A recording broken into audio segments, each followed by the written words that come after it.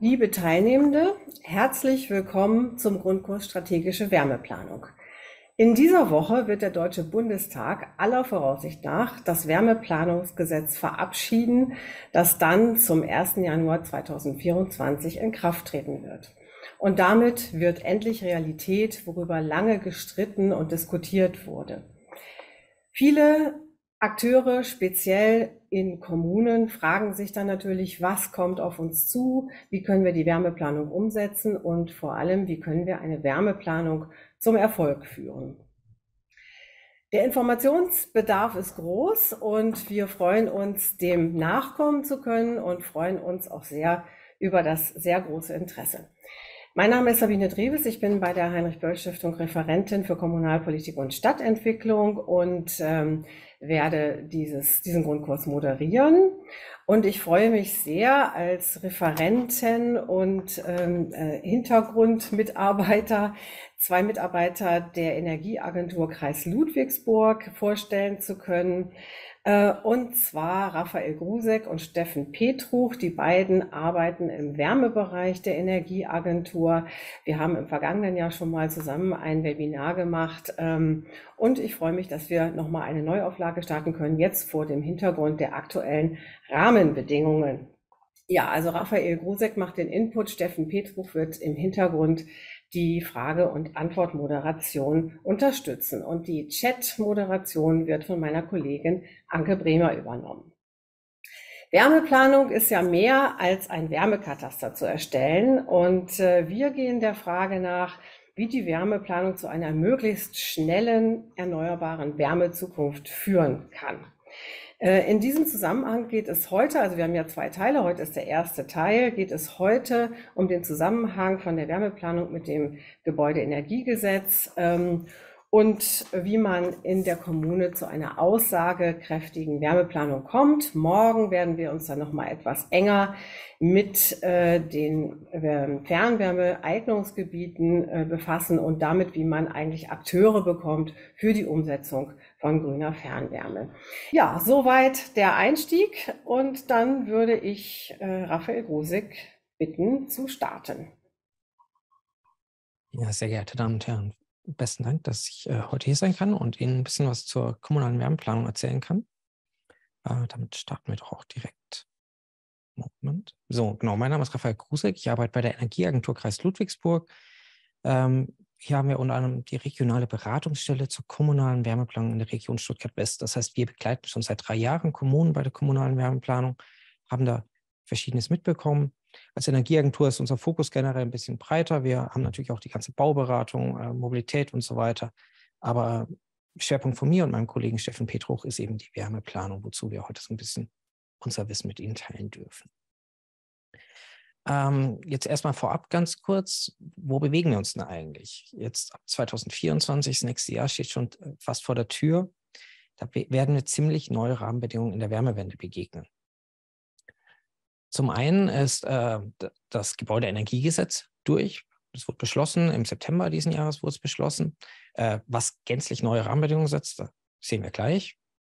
Dann warten wir noch auf die Novelle der BEG, der Bundesförderung für effiziente Gebäude. Die sollte auch noch dieses Jahr beschlossen werden. Die soll schließlich auch zum 1. Äh, Januar 2024 in Kraft treten.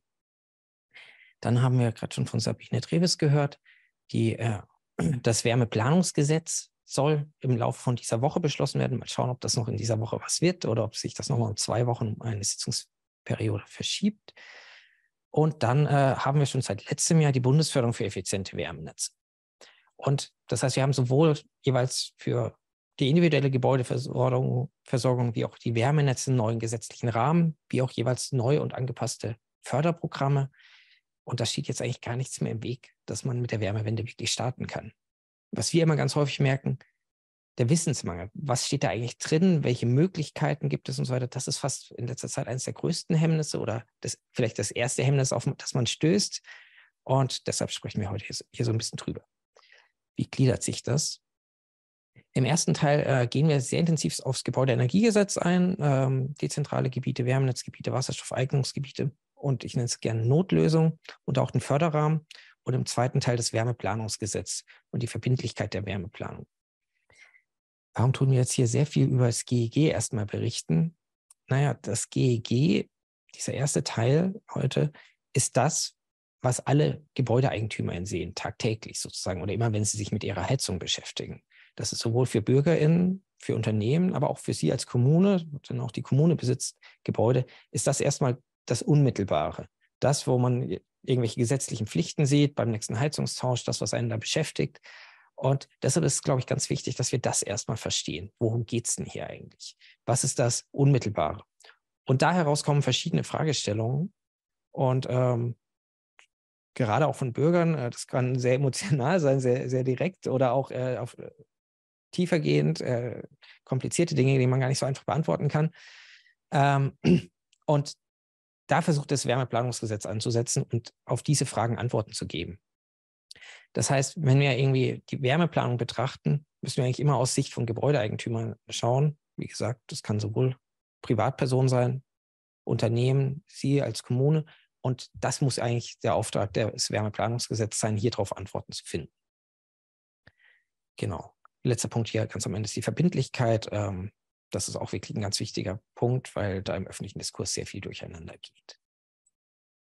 So, ähm, morgen haben wir dann nochmal einen zweiten Teil. Äh, da haben wir eher den Fokus auf die Umsetzung und sowohl die um Umsetzung mit bestehenden Akteuren. Wie kriegen wir das hin, wenn wir schon, zum Beispiel schon Stadtwerke haben oder ähnliche Akteure? Oder eben aber auch in Kommunen, wo es das noch gar nicht gibt. Beides sind relevante Fälle, beides ist gar nicht so einfach. Und da legen wir morgen unseren Fokus drauf. Wie kommen wir jetzt tatsächlich in die Umsetzung? Was kann da die Kommune beitragen? Wie kommen wir da vorwärts?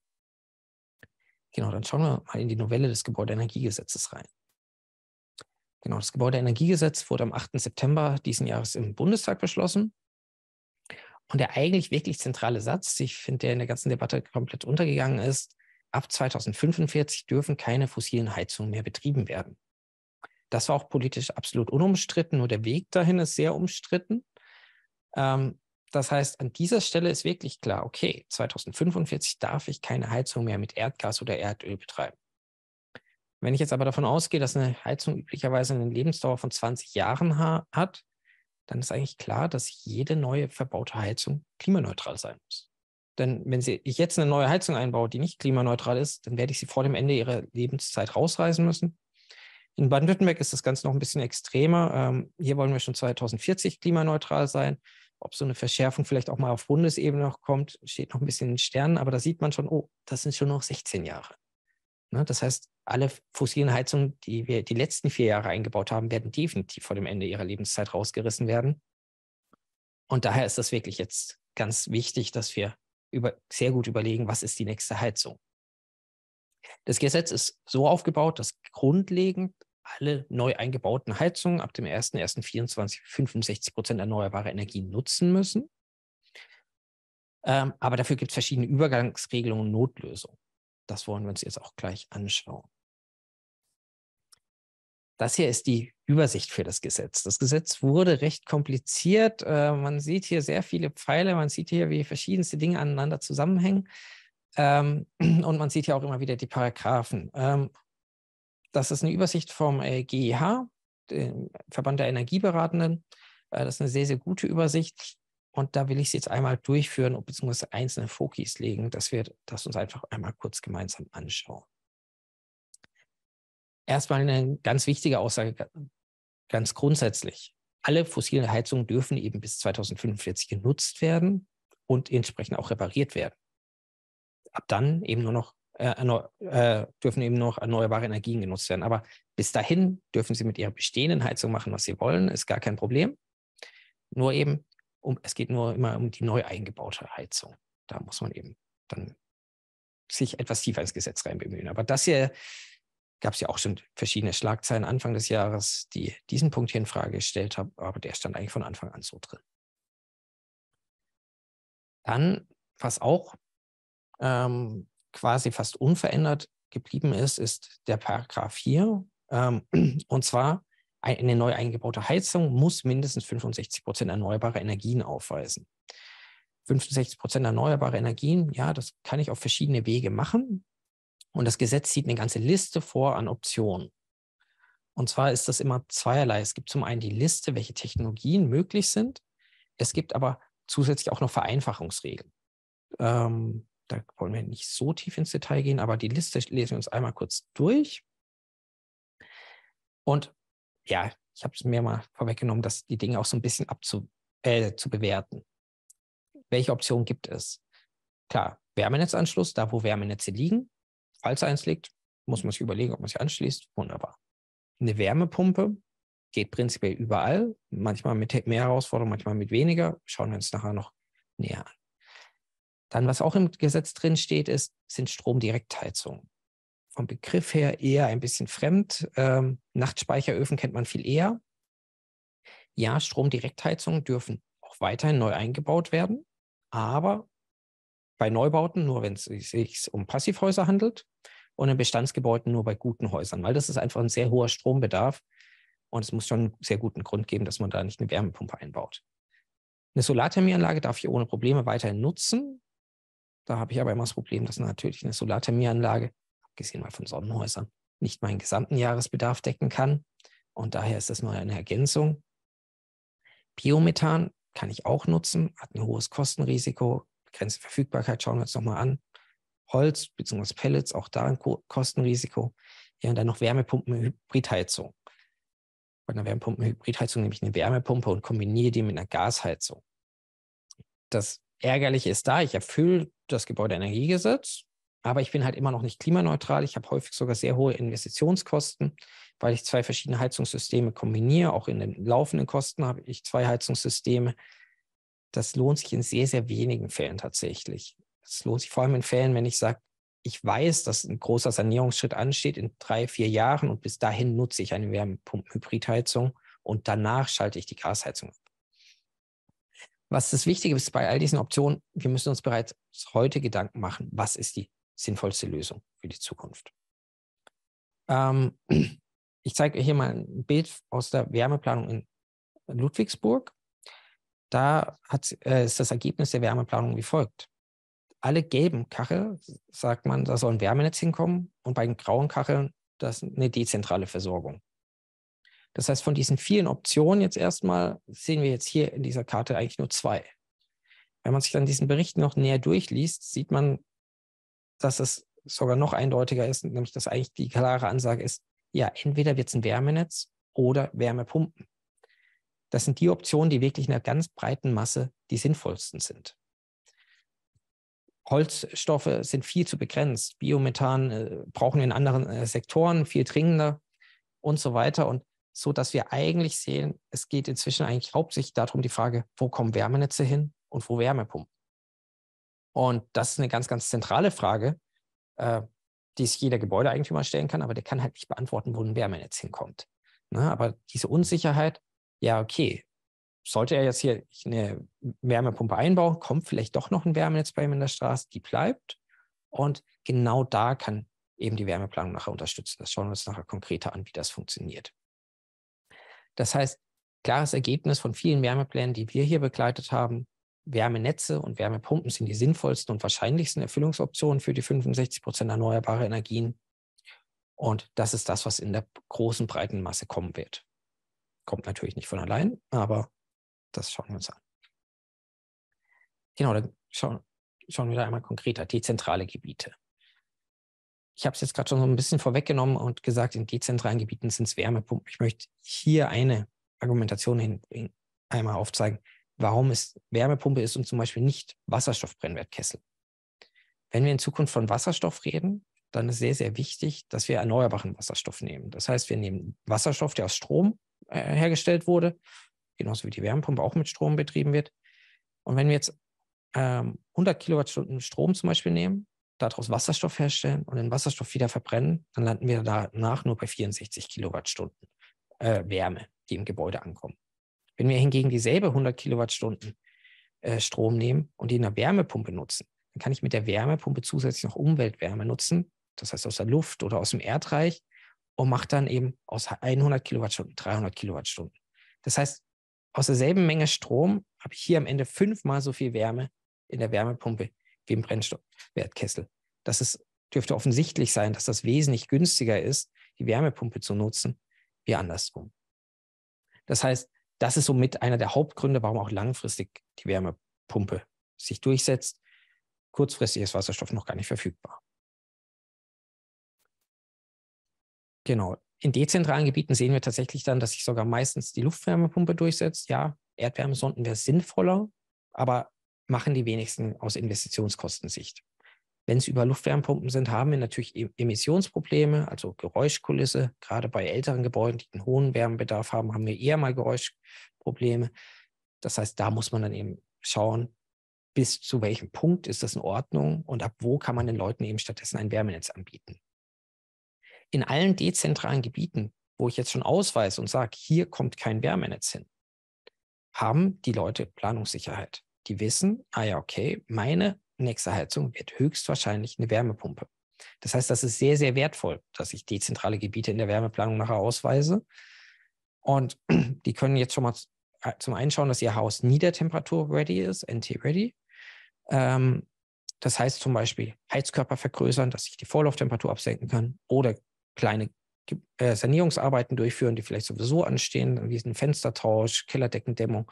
Mit jedem Sanierungsschritt, den ich an dem Gebäude durchführe, kann ich dann die Vorlauftemperaturen absenken und die Wärmepumpen werden effizienter. In dezentralen Gebieten ist dann eben schon heute, auch wenn es gesetzlich dann noch erlaubt ist, aber dem 1.1.24 die Möglichkeit, äh, sollte niemand mehr eine fossile Heizung einbauen. Das heißt, diese Option, die sehen wir nachher, ja, ich darf nochmal fossile Heizung einbauen, ist in dezentralen Gebieten nicht notwendig. Das heißt, so aus Wärmeplanungssicht, wenn Sie jemandem nachher sagen, hier ist ein dezentrales Gebiet, hier kann ich eine individuelle Heizung einbauen, ist das am sinnvollsten. Auch für den Stromnetzausbau sind dezentrale Gebiete total wichtig, weil wir haben Planungssicherheit in jedem dezentralen Gebiet, wo wir sind, ähm, weiß der Verteilnetzbetreiber, dass das Netz ausbauen kann. Das heißt, umso früher wir dezentrale Gebiete ausweisen, haben alle Planungsakteure Planungssicherheit und können, äh, alle beteiligten Akteure können eben frühzeitig anfangen. Ähm, zum Stromnetzausbau, da gibt es ganz häufig die Sorge, ja, ich, ich darf nicht, äh, dass die Netze nicht ausreichen, ich kann nicht mehr, mehr Wärmepumpen anschließen und so weiter. Der Verteilnetzbetreiber, ich höre von den ersten, die sagen, ja, hier, wir haben jetzt einen Stopp gemacht, dass Leute keine Wärmepumpen mehr einbauen dürfen und so weiter.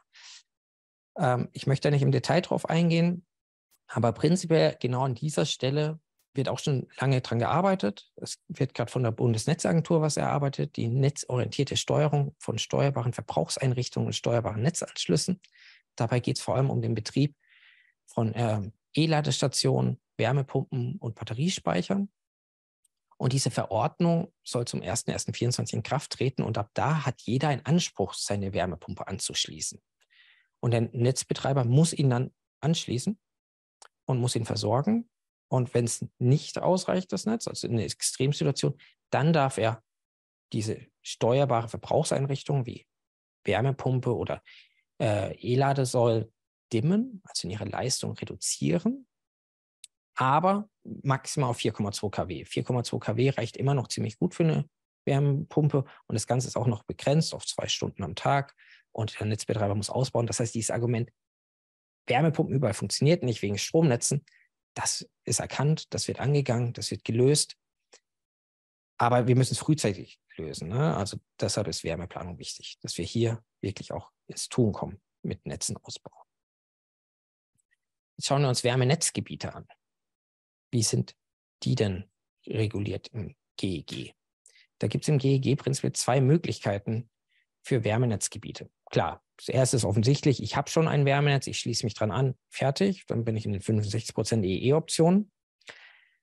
Aber wir wollen ja Wärmenetz jetzt auch massiv ausbauen, das steht auch im Wärmeplanungsgesetz stark drin. Ähm, und das heißt, wir werden ganz häufig erleben, Gebäude, bei Gebäudeeigentümern geht die Heizung kaputt und das Wärmenetz ist noch nicht da. Jetzt haben die zwei Möglichkeiten. Bauen sie entweder wieder eine Wärmepumpe ein. Wenn sie eine Wärmepumpe einbauen, dann werden sie sich dauerhaft nicht ans Wärmenetz anschließen. Oder aber wir erlauben ihnen nochmal eine fossile Heizung einzubauen und dann, sobald das Wärmenetz kommt, schließen sie sich an. Da ist im GEG-Entwurf eine Option vorgesehen, das ist Paragraph 71j, ähm, der eben sagt, ja, Gebäudeeigentümer dürfen, wenn ihre Heizung kaputt geht, immer ganz ohne Probleme nochmal eine fossile Heizung einbauen, eine sogenannte Übergangsheizung. Aber sie müssen dann eben einen Vertrag unterschreiben, dass mit dem Wärmenetzlieferanten, dass sie sich innerhalb von zehn Jahren an dieses Wärmenetz anschließen und mindestens 65 Prozent erneuerbare Energien nutzen. Und dieser Paragraph ist von dem Seite so, so ein bisschen schwierig, weil plötzlich der Wärmenetzbetreiber dem Kunden zusichert, dass er innerhalb von zehn Jahren wirklich mit dem Wärmenetz kommt. Ich weiß nicht, wie viele von Ihnen in Kommunen leben und arbeiten, ähm, wo es schon Wärmenetzbetreiber gibt. Meine Erfahrung ist eher, die meisten Wärmenetzbetreiber tun sich nur schon schwer, zwei, drei Jahre Planungssicherheit nach draußen zu kommunizieren. Und so ein Paragraph, wo man wirklich sagt, okay, auf zehn Jahre Planungssicherheit, das werden nur sehr wenige Netzbetreiber machen. Weil wenn sie nicht mit dem Wärmenetz kommen, dann müssen sie Schadensersatz zahlen, nämlich diese Übergangsheizung sozusagen finanzieren. Das ist der Grund, warum wir sehen, dieser Paragraph, der im GEG, den es im GEG gibt, der auch sehr, sehr gut eigentlich ist, wird wahrscheinlich in der Realität selten genutzt werden. Das heißt, Gebäudeeigentümer, deren Heizung kaputt geht, wo klar ist, in zehn Jahren kommt ein Wärmenetz, da wird der Netzbetreiber das nicht anbieten, die können das dann nicht nutzen. Es gibt aber eine andere Option, nämlich es gibt die allgemeine Übergangsfrist von fünf Jahren. Wenn eine Heizung kaputt geht, darf ich immer noch mal fünf Jahre eine beliebige Heizung einbauen. Und ähm, da baue ich dann als Gebäudeeigentümer auf eigenes Risiko noch mal eine Gasheizung ein, zum Beispiel, oder von mir sogar eine Ölheizung. Und wenn dann das Wärmenetz innerhalb von fünf Jahren kommt, kann ich mich anschließen. Und das ist eine Option, die ganz ohne Haftungsrisiko für den Netzbetreiber auskommt und ähm, für beide Seiten, glaube ich, sehr akzeptabel ist. Weil dass der Netzbetreiber auf fünf Jahre zusichert, ja, er kommt mit dem Wärmenetz und dass dann der Kunde aber auch sagt, ah ja, okay, das kann ich dem Netzbetreiber glauben. Der, der hat hier ein großes Vertrauen vor Ort. Ich baue nochmal so eine Übergangsheizung ein und schließe mich dann an. Je nachdem gibt es vielleicht sogar eine Contracting-Lösung, die der Wärmenetzbetreiber anbietet. Und das hier ist eine Option, die wir in Zukunft sehr, sehr häufig sehen werden, die eben das GEG einräumt. Und diese was dafür aber die Notwendigkeit ist, dass wir für den Wärmenetzausbau mindestens fünf Jahre Planungssicherheit brauchen. Das ist in heutigen Maßstäben auch meistens nicht gegeben. Die meisten Netzbetreiber planen heute noch nicht so weit raus, vor allem auch mit dem ambitionierten Tempo, was jetzt in den nächsten Jahren kommen soll, ähm, ist das wirklich herausfordernd, für fünf Jahre die nächsten Planungsschritte anzukündigen. Aber das ist eigentlich das, was wir brauchen. Das heißt, wenn wir morgen im zweiten Teil über Akteure reden, ist das eine ganz spannende Frage. Welche Akteure können denn meinen zukünftigen Netzkunden auch wirklich fünf Jahre Planungssicherheit anbieten? Ähm, was passiert, wenn das der Netzbetreiber nicht kann? Wenn er sagen, zum Beispiel sagt, ich weiß immer nur, wo ich im nächsten Jahr baue, naja, dann sind alle Kunden, die in den nächsten, die halt, wo jetzt die Heizung kaputt geht und ich komme aber bis zu in fünf Jahren dem Wärmenetz vorbei, werden sich wahrscheinlich direkt eine erneuerbare Heizung einbauen. Das heißt, ich verliere ganz viele Kunden und umso mehr Kunden schon eine Wärmepumpe eingebaut haben, umso weniger werden sich ans Wärmenetz anschließen, dann lohnt sich wirtschaftlich nicht mehr. Das heißt, fünf Jahre Planungssicherheit für Wärmenetze, das ist aus meiner Sicht eine notwendige Anforderung an Netzbetreiber. Genau, jetzt wollte ich noch mal kurz auf Wasserstoffgebiete eingehen. Ich hatte die vorher so ein bisschen ausgeschlossen oder ähm, und schon gesagt, ja, wirtschaftlich wahrscheinlich aus Effizienzsicht nicht sinnvoll und notwendig. Im GEG ist es natürlich trotzdem eine Option, eine Erfüllungsoption. Das GEG selbst ist ja technologieneutral. Im GEG sagt es eben genauso wie bei Wärmenetzen auch, ja, ich darf mich nochmal an Erdgasnetz anschließen, wenn klar ist, dass dieses Netz auf Wasserstoff umgestellt wird. Ähm, dafür braucht es einen verbindlichen Fahrplan zur Umstellung des Netzes auf 100% Wasserstoff bis 2045. Da steht im Gesetz unter Einhaltung der Klimaschutzziele 2035 und 2040. Da waren in früheren Versionen verbindlichere Version, äh, Punkte drin, wo es hieß, ah ja, okay, wir brauchen mindestens 50 Prozent Wasserstoff im Jahr 2030. Das wurde leider rausgestrichen. Das heißt, was Einhaltung der Klimaschutzziele ist, ob das jeder selbst definieren kann oder ob da in Zukunft irgendwann der Gesetzgeber das nochmal nachschärft, das bleibt an der Stelle leider total schwammig und total große Unsicherheit. Und Sie können sich vorstellen, wenn Sie zum Beispiel ein Netz sind, was in 2035 schon einen hohen Wasserstoffanteil haben sollte, 2035, da reden wir gerade erst so vom Anfang vom Wasserstoffhochlauf, da wären die Kosten noch sehr, sehr hoch. Also wahrscheinlich würden Sie keine Heizung betreiben wollen im Jahr 2035 mit Wasserstoff, weil er einfach viel zu teuer ist. Und das ist sozusagen allgemein das ganze Problem an dieser Thematik mit Wasserstoff. Für den Netzbetreiber reden wir von relativ geringen Investitionen. Zum Großteil kann er seine Netze einfach weiter nutzen, zumindest auf Verteilnetzebene. Für den Kunden bedeutet es erstmal ein neues Gerät. Also wenn wir einen hohen Anteil Wasserstoff haben wollen, müssen alle Gasheizungen ersetzt werden. Und danach liegt aber auch das gesamte Preisrisiko beim Kunden. Das heißt, wie teuer der Wasserstoff wird, liegt beim Kunden. Und auch bis der Wasserstoff kommt, bezieht der Kunde ja auch Erdgas. Und auch da haben wir natürlich ein erhebliches Preisrisiko, sei es über den Erdgaspreis selbst oder aber auch über den CO2-Preis. Das heißt, die Option Wasserstoff ist zwar im GEG drin vorgesehen, ich würde sie aber niemandem empfehlen. Genau, hier nochmal kurz schriftlich zusammengefasst. Ähm, genau, beim Wasserstoff muss ich eben auch immer ganz stark im Fokus haben, dass Wasserstoff eine weltweite Nachfrage hat. Und wir hatten es letztes Jahr sehr schön gesehen, was beim Erdgas passiert. Das Erdgas war knapp. Wir hatten die ganze Zeit noch genügend Erdgas, aber es war ein knappes Gut. Und dadurch sind die Preise nach oben geschossen. Dasselbe erwarten wir beim Wasserstoff. Und der Wasserstoff wird halt insbesondere in der Industrie benötigt werden. Jetzt gerade momentan ist auch ein sehr, sehr großer Diskurs über blauen Wasserstoff aus der Argumentation heraus, wir können nicht genügend grünen Wasserstoff kurzfristig zur Verfügung stellen. Wir sollen doch mal bitte blauen Wasserstoff nutzen, um einen kurzfristigen Markthochlauf der Wasserstoffindustrie zu ermöglichen. Das kann man machen. Äh, man sollte sich aber dessen sehr bewusst sein, was das bedeutet. Hier links einmal in farbig äh, ist eine Studie vom äh, Umweltbundesamt von äh, Ende 2022, also knapp zwölf Monate alt die verschiedenen Emissionen der Wasserstofferzeugung vergleicht. Ähm, und zwar immer Produktion in Deutschland und Produktion in einem anderen Ursprungsland, wo es zum Beispiel viele Erneuerbare gibt oder Erdgas gibt oder wie auch immer. Und wir sehen hier, dass der blaue Wasserstoff fast so hohe Emissionen hat wie grauer Wasserstoff.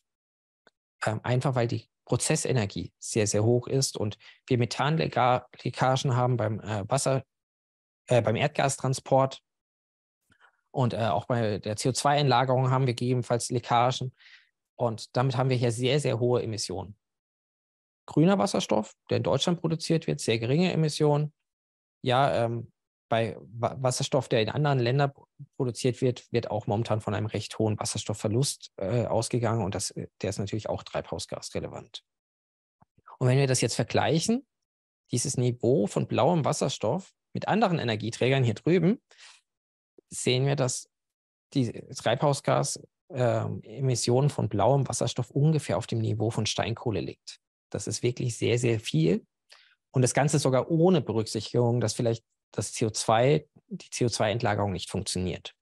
Also das ist das Hauptargument, was ich häufig höre. Ja, man weiß nicht, ob die CO2-Endlager dicht sind oder nicht. Diese Berechnung ist ohne diesen Effekt berücksichtigt. Die, die sagen, ja, wir kriegen das CO2 100 Prozent sauber eingelagert, funktioniert alles ganz problemlos.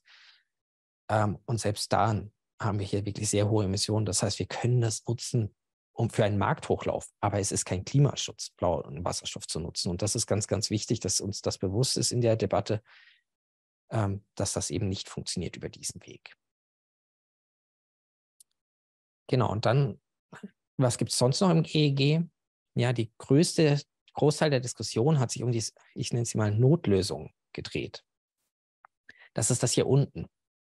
Das steht ja für Großstädte mit über 100.000 Einwohnern, darf bis Juni 2026 und für Städte kleiner 100.000 Einwohner darf bis Juni 2028 nochmal eine fossile Heizung nutzen. Das ist der Punkt, wo dann meistens in den Medien Ende der Berichterstattung ist. Das geht aber mit zwei Verpflichtungen einher.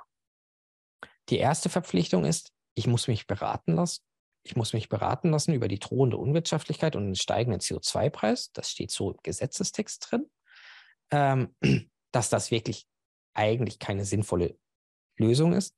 Und zum Zweiten gibt es auch noch die Pflicht, immer mehr erneuerbare Energien zu nutzen.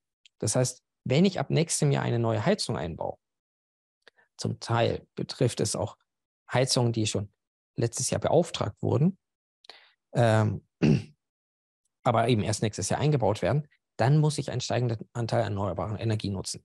ab 2029 15 Prozent erneuerbare, ab 2035 30 Prozent, ab 2040 60 Prozent und wie alle Heizungen muss ich dann 2045 100 Prozent erneuerbare nutzen.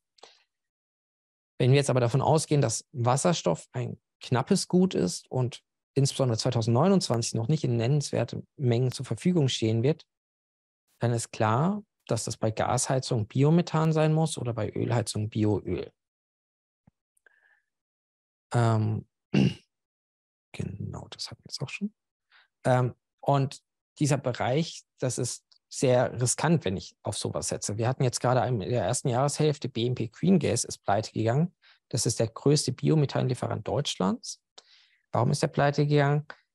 Ähm, die Biomethanpreise sind immer weiter durch die Decke gegangen. Sie hatten langfristig verkauft, aber keine langfristige Einkaufsstrategie, konnten das nicht mehr decken. Und wir sehen es eben, die Produktion stagniert fast schon. Sie steigt nicht. Ähm, denn die Nachfrage steigt immer weiter. Das heißt, das ist wirklich ein großes Preisrisiko. Außerdem, ja, ich habe jetzt hier ab 2029 15 Prozent Biomethan, aber der Rest ist ja weiterhin Erdgas mit CO2-Emissionen. Und auch da steckt ein sehr, sehr großes Risiko drin. Es wurde im ersten Halbjahr der europäische CO2-Preis beschlossen. Der ist zwar erstmal gedeckelt, aber Experten sagen, ja, dieser Deckel von 45 Euro pro Tonne, der wird vielleicht bis 2030 halten und danach, sobald keine CO2-Zertifikate mehr in der Reserve sind, bildet sich der Preis am Markt und dann geben Experten unterschiedliche Preise an. Ein, manche sagen 100 bis 300 Euro, andere sagen 175 bis 350 Euro pro Tonne. Ja, das sind so vier bis sechs Cent pro Kilowattstunde Erdgas zusätzlich, allein für den CO2-Preis. Das ist, ja, wir hatten jetzt gerade schon einen Anstieg von 6 auf 12 Cent und dann sind wir bei 18 Cent für Erdgas. Und das ist das Risiko, wenn ich so eine Notlösung nehme und da nochmal eine fossile neue Heizung einbaue. Das heißt, da muss ich mir einfach sehr, sehr bewusst sein, in welchen Fällen baue, mache ich das. Das hatte ich ja gerade vorher schon. Wenn ich weiß, dass ein Wärmenetz kommt, ja wunderbar, dann bin ich da auch in fünf Jahren oder spätestens zehn Jahren wieder draußen. Alles gut. Wenn ich aber gar nicht weiß, welche erneuerbare Heizung ich langfristig einbauen will und einfach nur sage, ja, meine Gasheizung ist kaputt, das Einfachste ist, ich baue wieder eine neue Gasheizung ein, dann ist es wirklich keine sinnvolle Option, sondern dann äh, ist in dieser Notlösung mehr Risiko wie Chance drin.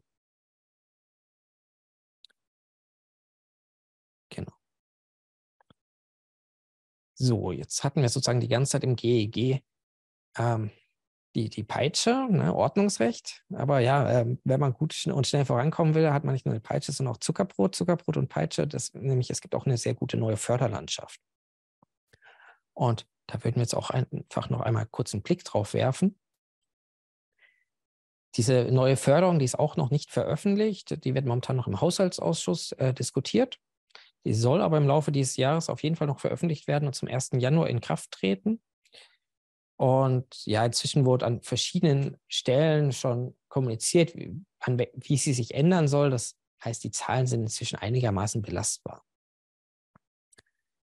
Für alle Heizungen soll es eine grundsätzliche Förderung in Höhe von 30 Prozent geben.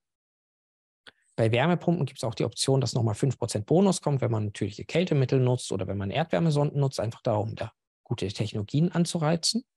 Das ist das, was allen zur Verfügung steht. Auch wenn Sie eine Gasheizung haben, die gerade mal ein Jahr ist, bekommen Sie 30 Prozent Förderung.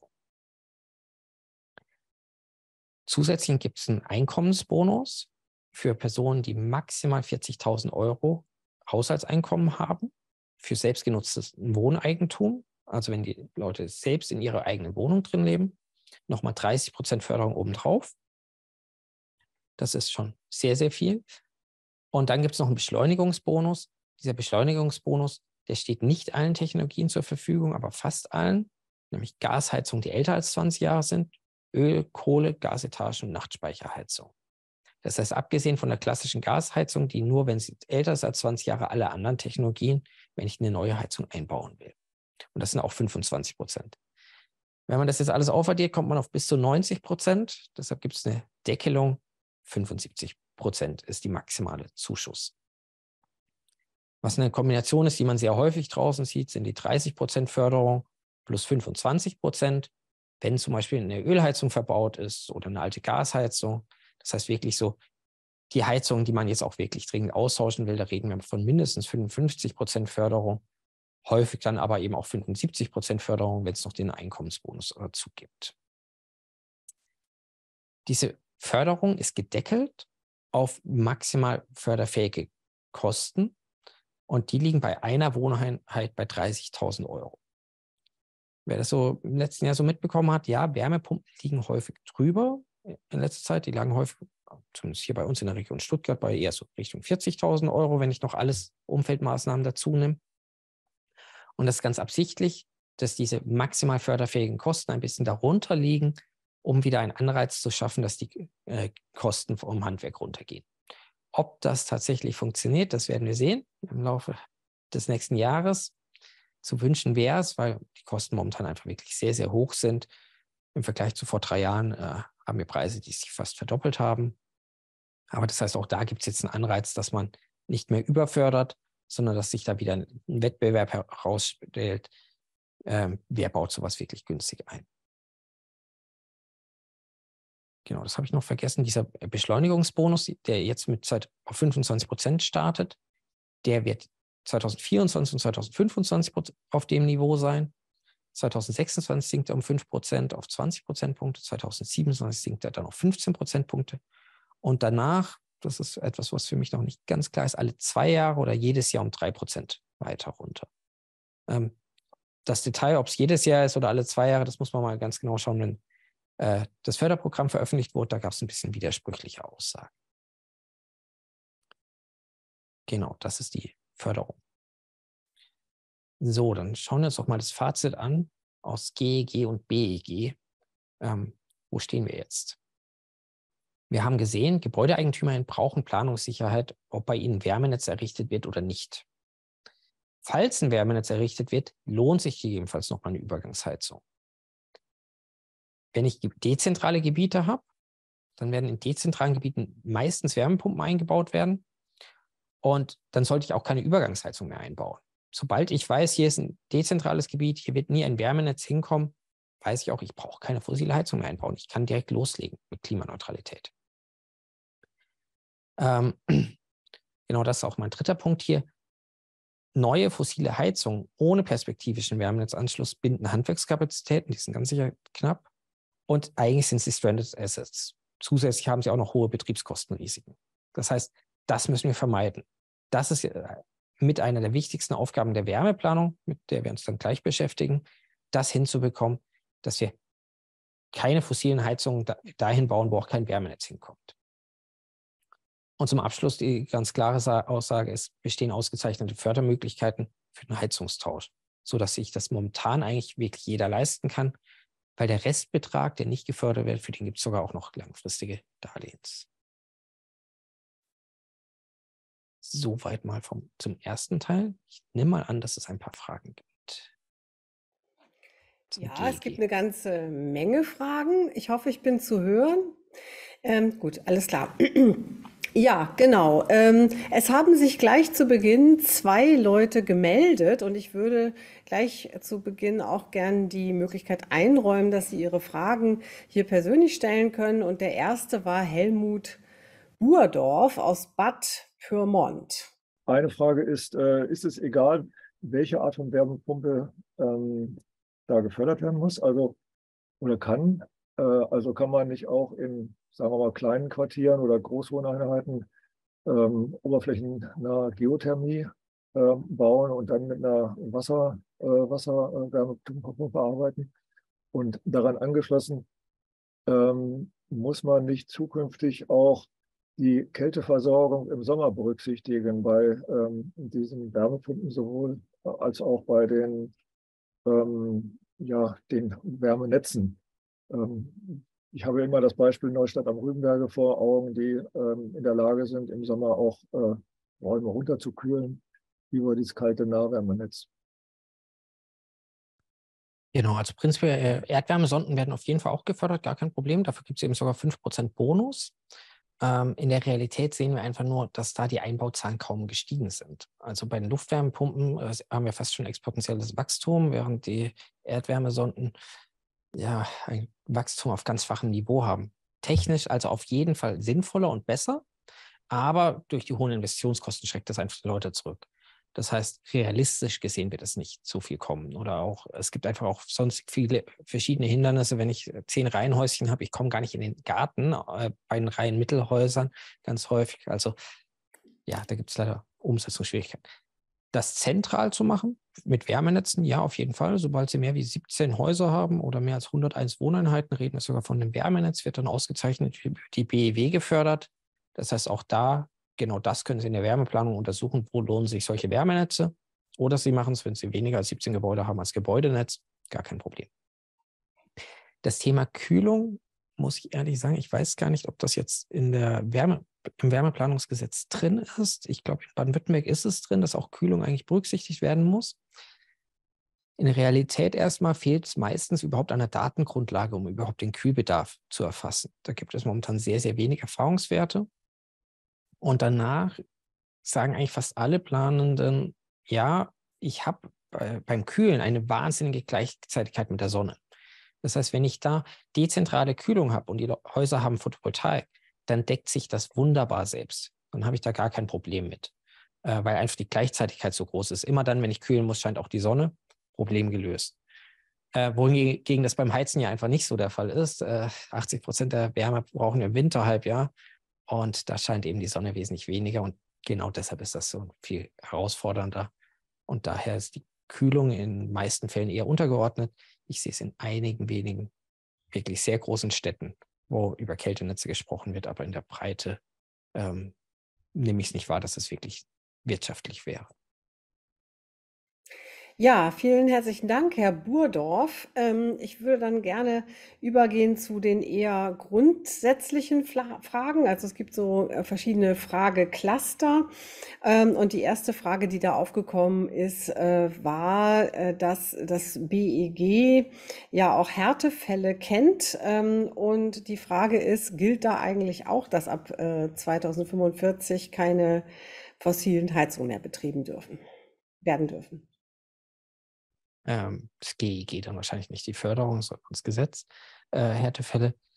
Ja, das ist eine gute Frage. Ähm, die Frage ist, ich, äh, dieser Härtefallklausel gilt eigentlich auf alles. Das heißt wahrscheinlich auch darauf. Für mich stellt sich aber eher die Frage, will dann überhaupt noch jemand äh, seine fossile Heizung betreiben? Wenn Sie sich zum Beispiel vorstellen, dass immer weniger Ölheizungen laufen, dann äh, sehen Sie schon, da bricht plötzlich ein ganzer Markt zusammen, da bricht eine ganze Versorgungsinfrastruktur zusammen.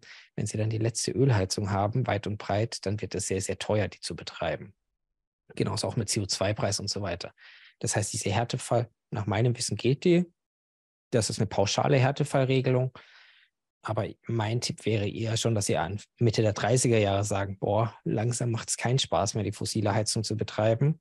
Genauso auch im Erdgasnetz wenn Sie die Letzten im Erdgasnetz sind, dann zahlen Sie plötzlich die gesamte Netzgebühr, die gesamten Kosten.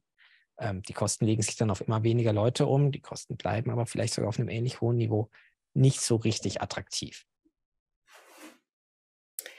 Ja, äh, noch eine Frage, die auch zu diesem äh, Komplex passt, äh, ist die Frage, wer kontrolliert das denn eigentlich? Ob tatsächlich eine Heizung dann, wenn das äh, ähm, erforderlich ist, eine Heizung eingebaut wird, die mit 65 Prozent Erneuerbaren funktioniert?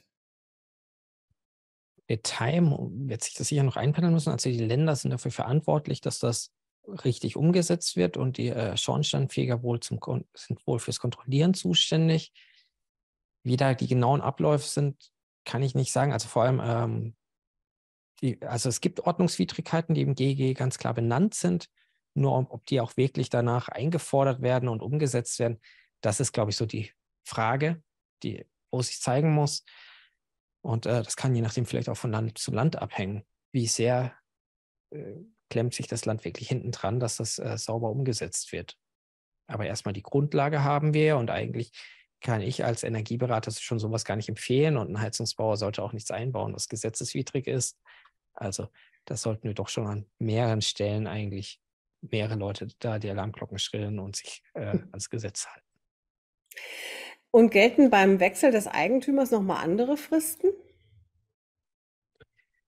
An der Stelle jetzt nicht. Also es gab immer ähm, bei den Also es gab bisher schon eine, eine Regelung, dass Konstanttemperaturheizungen über 30 Jahre nicht mehr weiter betrieben werden durften. Da gab es immer Ausnahme für den Eigentümer, wenn es ein Bestandseigentümer ist. Und beim Eigentumswechsel hat sich es verkürzt. Aber diese fünf Jahre Übergangsheizung, die gilt in jedem Fall, ganz unabhängig von Eigentumswechsel oder sonst wie. Und auch die zehn Jahre, das ist dann äh, sehr fix eigentlich.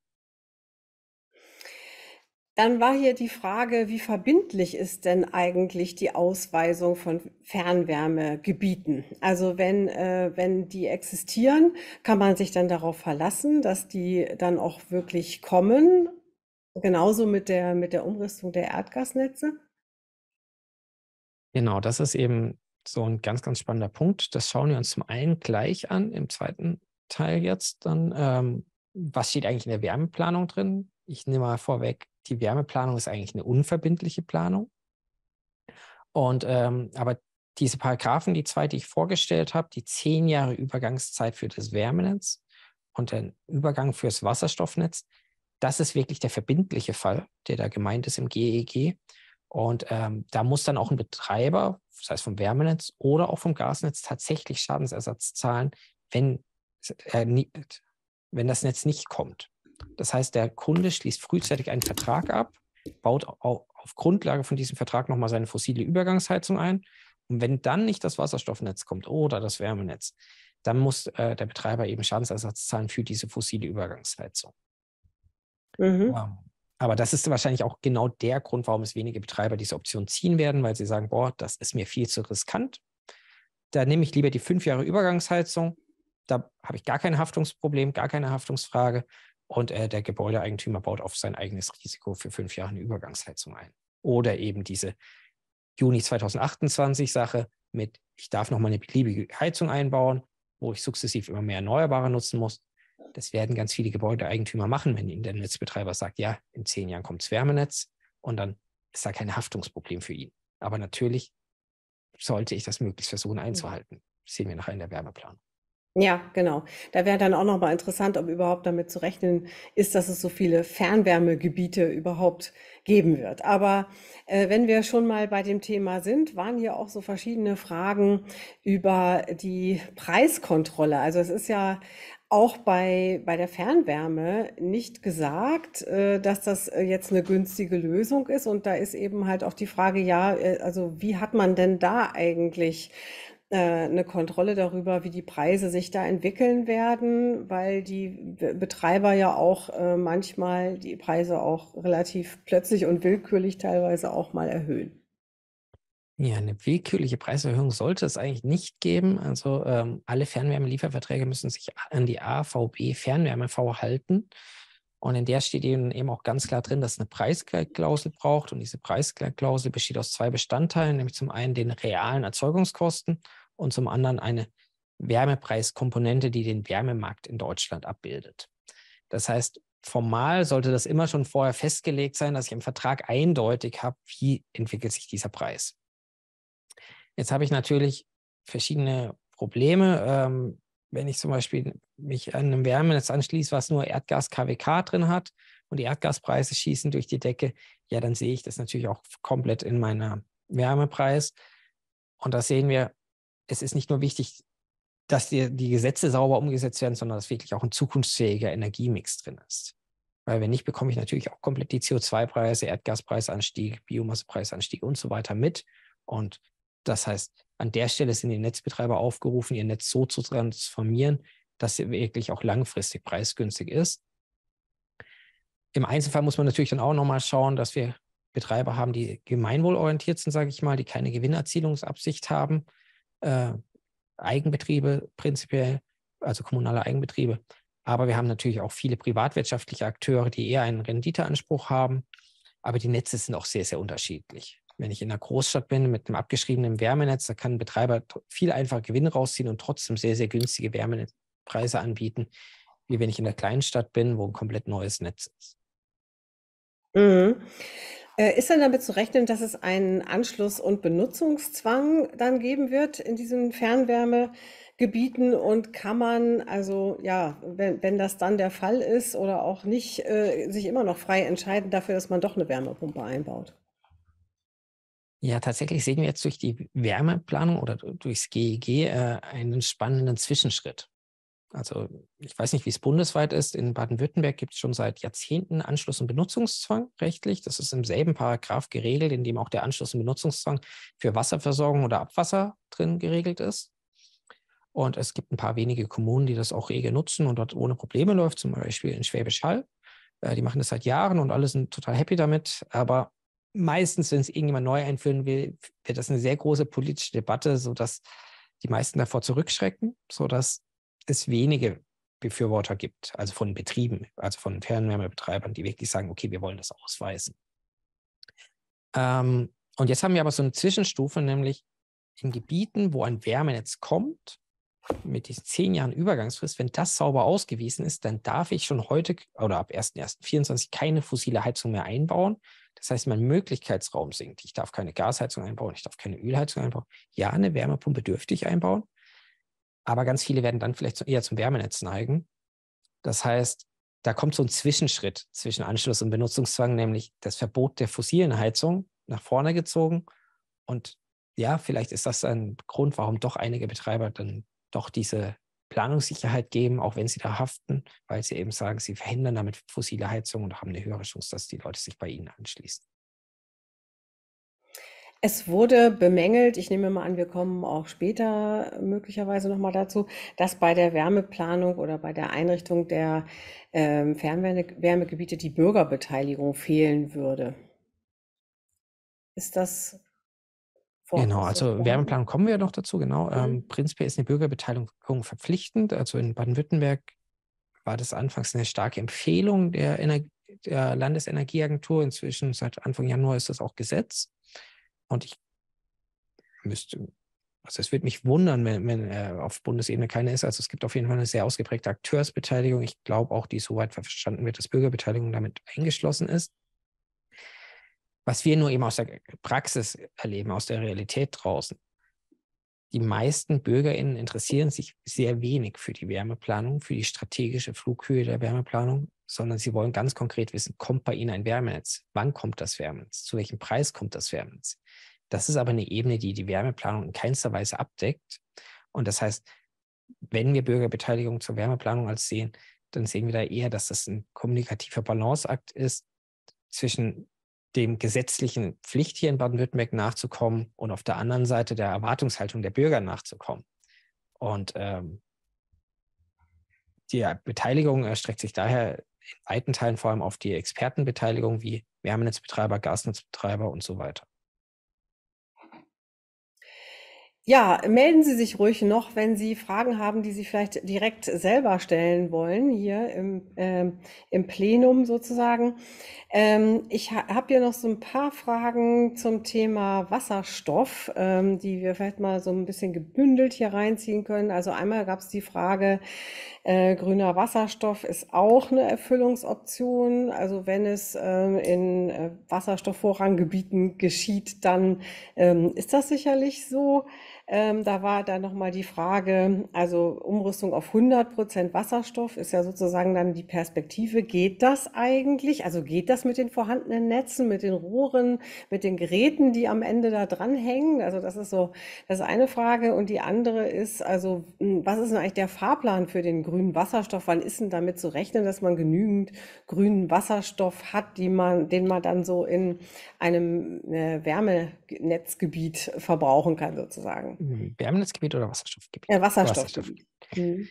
Genau, also technisch behaupten die Verteilnetzbetreiber, ähm, dass das ohne Probleme geht, Wasserstoff wirklich bis zum Endkunden zu verwenden.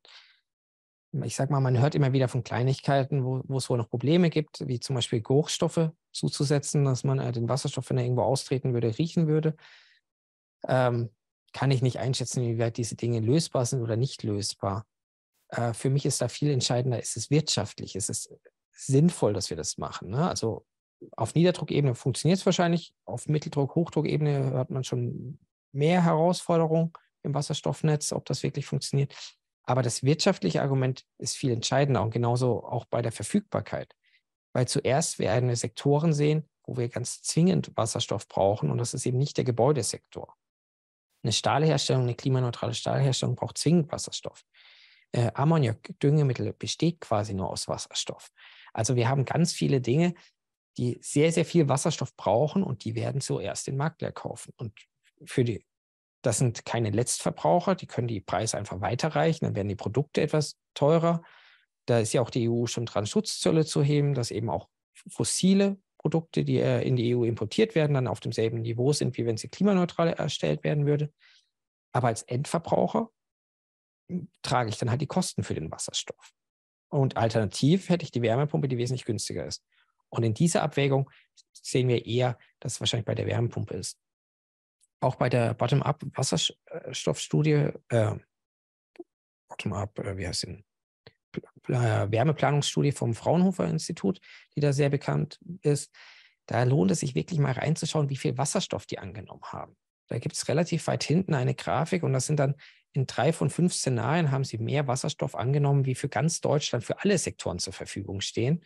Und das heißt, die Planungsgrundlagen sind da wirklich ja nicht gegeben. Also so viel Wasserstoff haben wir für ganz Deutschland nicht und das verwenden die allein für den Wärmesektor, wo alle anderen sagen, ja gut, der Wärmesektor kriegt, kriegt eigentlich fast nichts, wenn dann nur in Wärmenetzen minimal was. Und daher da wirklich sehr genau schauen, schauen, wo sind welche Interessen hinten dran. Ja, ja äh, tun sich denn die ähm, Erdgasverteilnetzbetreiber mit sowas einen Gefallen? Also ich meine, das ich, ist ja so ein bisschen immer, also wo fängt das eigentlich an, dass man sich realistisch äh, den Gegebenheiten stellt? Und zwar ähm, auf der gesamten Ebene von Anbietern, von Brennstoffen und Wärme. Mhm. Ich glaube, wenn man es isoliert betrachtet äh, und ein bisschen gemein ist, kann man natürlich sagen, äh, die Erdgasverteilungsbetreiber machen sich damit einen Gefallen, weil umso länger die Leute glauben, dass äh, das Erdgasnetz klimaneutral wird, umso länger bleiben sie im Erdgas drin. Das heißt, ähm, ja, sie halten länger ihre Kunden, auch wenn der Wasserstoff nicht kommen wird. Also genau deshalb ist wahrscheinlich die Option rausgestrichen worden, dass eben auch die, im Erdgasnetz mindestens 50 Prozent Wasserstoff in 2035 sein muss, ähm, weil das eben nicht darstellbar gewesen wäre. Das wäre ein K.O.-Kriterium gewesen. Dann hätte zu diesem Zeitpunkt alle alten Heizungen draußen sein müssen. Das heißt, die Umstellung ist vertagt auf 2045 möglichst weit weg. In dem Augenblick, wo ein äh, Verteilnetzbetreiber, aber auch Wärmenetzbetreiber ist, wo es nicht nur darum geht, er möchte seine Kunden möglichst lange halten in seinem Erdgasnetz, sondern er möchte überhaupt seine Kunden möglichst lange halten, da macht er sich wahrscheinlich keinen Gefallen damit, weil es ist klar, die Leute werden aus dem Erdgasnetz rausgehen und wenn ich ihnen kein Wärmenetz anbiete, dann werden sie zur Wärmepumpe wechseln. Das heißt, wenn wir von Stadtwerken reden, die haben wirklich die Möglichkeit, ihre Kunden zu halten, wenn sie ihnen eine Alternative anbieten. Und diese Alternative muss jetzt frühzeitig aufgebaut werden. Und da muss ich mir dessen ja sehr, sehr bewusst sein, dass ich alle Kunden in meinem Gasnetz verlieren werde, über kurz oder lang. Sagen wir mal bis Mitte der 30er Jahre, vielleicht Ende der 30er Jahre, wird es der Großteil gewesen sein, die dann schon gegangen sind. Wenn ich jetzt frühzeitig Wärmenetze anbiete, dann habe ich eine Chance, meine Kunden zu behalten, nur halt in einem anderen Video. Ich habe hier noch so ein paar Fragen zum Thema Wärmeplanung. Also wer muss eigentlich die Wärmeplanung machen? Zum einen ähm, ist es die Gemeinde oder ist es die Verbandsgemeinde? Das war eine Frage. Äh, dann gab es eine Frage, ob auch kleine Gemeinden verpflichtet werden, Wärmeplanung zu machen. Ähm, und ähm, eine Frage dazu, ob eigentlich die Wärmeplanung noch förderfähig ist, wenn ein Quartierskonzept möglicherweise schon erstellt wurde oder eben überhaupt. Also im Moment ist, wird ja Wärmeplanung gefördert. Genau, also ein Quartierskonzept ist, äh, hat damit gar nichts zu tun, ob förderfähig oder nicht. Tatsächlich ist die spannende Frage, ob jetzt dann äh, nach dem Bundestagsbeschluss äh, die Wärmeplanung noch förderfähig ist, beziehungsweise ab welchem Zeitpunkt nicht mehr. Ähm, wir kommen da auch gleich dazu. Die Wärmeplanung der Bund kann nicht direkt die Kommunen verpflichten, sondern der Bund kann nur die Länder verpflichten, äh, dass eine Wärmeplanung erstellt wird für alle Kommunen. Und die Länder werden in den meisten Fällen an die Kommunen verpflichten. Das heißt, so eine Fragestellung wie Verbandsgemeinden, äh, ob die die Wärmeplanung durchführen müssen oder andere, ähm, das wird auf Landesebene entschieden werden. Das steht nicht im äh, Wärmeplanungsgesetz des Bundes, sondern da muss dann in das entsprechende Landesgesetz schauen. Es gibt auch nicht in allen Bundesländern Verbandsgemeinden und dementsprechend ist es genau richtig, dass die Länder dann das übersetzen. Was bedeutet das für ihr Hoheitgebiet? die Länder könnten aber zum Beispiel auch beschließen, sie machen das einfach zentral für alle. Fertig. Ähm, wird wahrscheinlich nirgends passieren. Also ich habe es zumindest noch nirgends vernommen, außer jetzt mal von Stadtstaaten. Ähm, genau. Was war sonst noch die Frage? Auch, die ob, Förderung. ob kleine, kleine Kommunen verpflichtet sind. Genau, für kleine Kommunen gibt es Ausnahmemöglichkeiten. Ähm, die sind zum Teil schon im Bundesgesetz festgelegt, aber auch die werden nochmal im Detail ähm, im Bundes äh, in Landesgesetzen ausformuliert. Da geht es um Kommunen kleiner 10.000 Einwohner. Mhm. Ja, ich habe hier noch einen Zuschauer, der äh, eine Frage stellen möchte, und zwar Sebastian Jung. Da würde ich mal einmal darum bitten, ja, da ist er schon. Bitte Ihre Frage.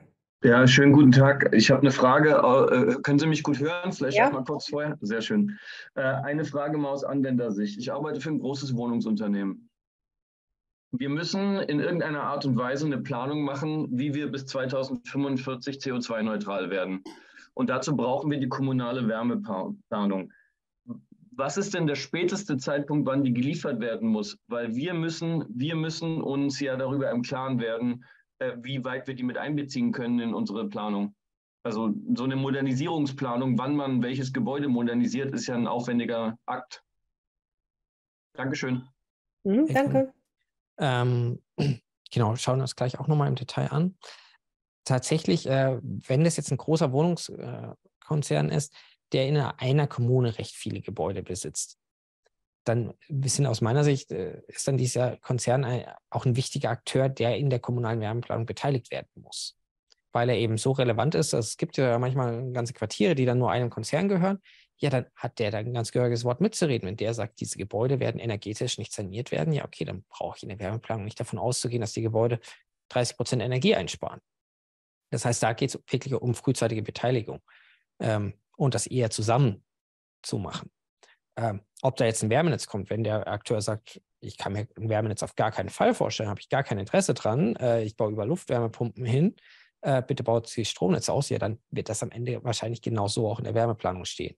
Umgekehrt kann natürlich die Stadt sagen, hier, ich habe ein großes Wärmenetz, hast du daran Interesse? Und dann gibt sich da auch was draus. Kann ja auch der Ankerkunde, kann auch der Startpunkt sein für ein Wärmenetz. Das heißt, das sind ganz viele Optionen in die Richtung. Vom reinen Zeitpunkt her reden wir eigentlich bei Großstädten größer 100.000 Euro, äh, 100.000 Einwohner äh, Juni 2026 und bei Kommunen kleiner 100.000 Einwohner von Juni 2028. Aber die Beteiligung sollte auf jeden Fall vorher sein, vor Abschluss. Die Frage ist ja dann auch nochmal, was passiert denn, wenn die Zeitpläne nicht eingehalten werden können? Zur Fertigstellung. Mhm. Ähm, das dürfte dann wieder Landesrecht sein, wie das sanktioniert wird. Ich habe jetzt, glaube ich, im Bundesgesetz keine Sanktionen vom Bund Richtung Länder gesehen. Ähm, ob die Länder Sanktionen gegenüber ihren Kommunen haben, äh, ist eine Landesfrage. Ja, ähm, die, ich glaube, ich, ja, ich habe hier noch eine Frage. Ähm, was ist unter innovativer Heiztechnik zu verstehen? Das bezieht sich dann wahrscheinlich auf den Bonus beim schauen. Das sagt nämlich jetzt gerade selbst nichts. Statt das hier dabei. Ach, hier. Ah. Ähm, jetzt. Äh, genau, wahrscheinlich geht es hier um Brennstoffzellen. Äh, ich kann es aber gerade nicht im Detail sagen, was noch drin ist in der BEG-Förderung. Also Brennstoffzellen waren auf jeden Fall mal Teil der Förderung. Ähm, ob das noch ist, weiß ich gerade nicht. Oder wird man dann sehen müssen zum 1.1.24, weil sie aktuell nicht, noch nicht veröffentlicht Also ich glaube, dass das ist in, in der Folie ganz unten. Ich vermute Es jedenfalls dass das hier, gemeint ist. unter. 5% Bonus. Die 5%, Was? die, die Ja. bezieht sich auf die Wärmepumpe. Ja. Ähm, wenn ich Ach eben so, natürliche ja, okay. Kältemittel Hm. nehme, mit geringem Treibhausgaskoeffizient, das heißt CO2, Ammoniak, sowas, kriege ich Förderung oder eben äh, Erdwärmesonden. Aber äh, das war hier die innovative Heiztechnik. Genau.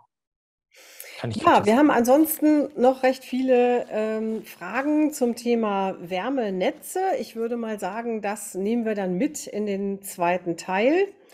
Äh, und machen jetzt erstmal eine kleine fünfminütige Pause und freuen uns dann, Sie nach dieser Pause gleich wiederzusehen. Gut, es geht weiter. Ich begrüße Sie zum zweiten Teil des ersten Grundkurses zur strategischen Wärmeplanung. Und ja, wir kommen jetzt ähm, in die eigentliche Wärmeplanung rein. Wie geht man eigentlich vor und wie kommt man zu einer aussagekräftigen Wärmeplanung? Raphael Grusek. Ja, besten Dank. Genau, das heißt, jetzt im ersten Teil haben wir uns das GEG e angeschaut. Wir haben uns jetzt angeschaut, wie, was sieht eigentlich der Betrachter draußen? Ne? Also er hat sein Gebäude, wird zu irgendwas verpflichtet, muss ich, äh, muss jetzt die Gesetze einhalten, ab 1.1.24 50 Prozent erneuerbare Ausnahmen regeln und so weiter. Fragt sich, wann kommt hier ein Wärmenetz? Ganz viele Fragen. Und jetzt wurde auch in der politischen Debatte im letzten halben Jahr sehr häufig gesagt, ja, okay, jetzt warten wir mal die Wärmeplanung ab und dann weiß er ja ganz genau, was da kommt und dann ist ja alles gut. Als Person, die ähm, schon seit über drei Jahren zur Wärmeplanung berät, war ich etwas überrascht von äh, dieser Eindeutigkeit, die im politischen Diskurs da plötzlich war, dass die Wärmeplanung all diese Fragen beantworten kann. Das ist leider nicht ganz so einfach.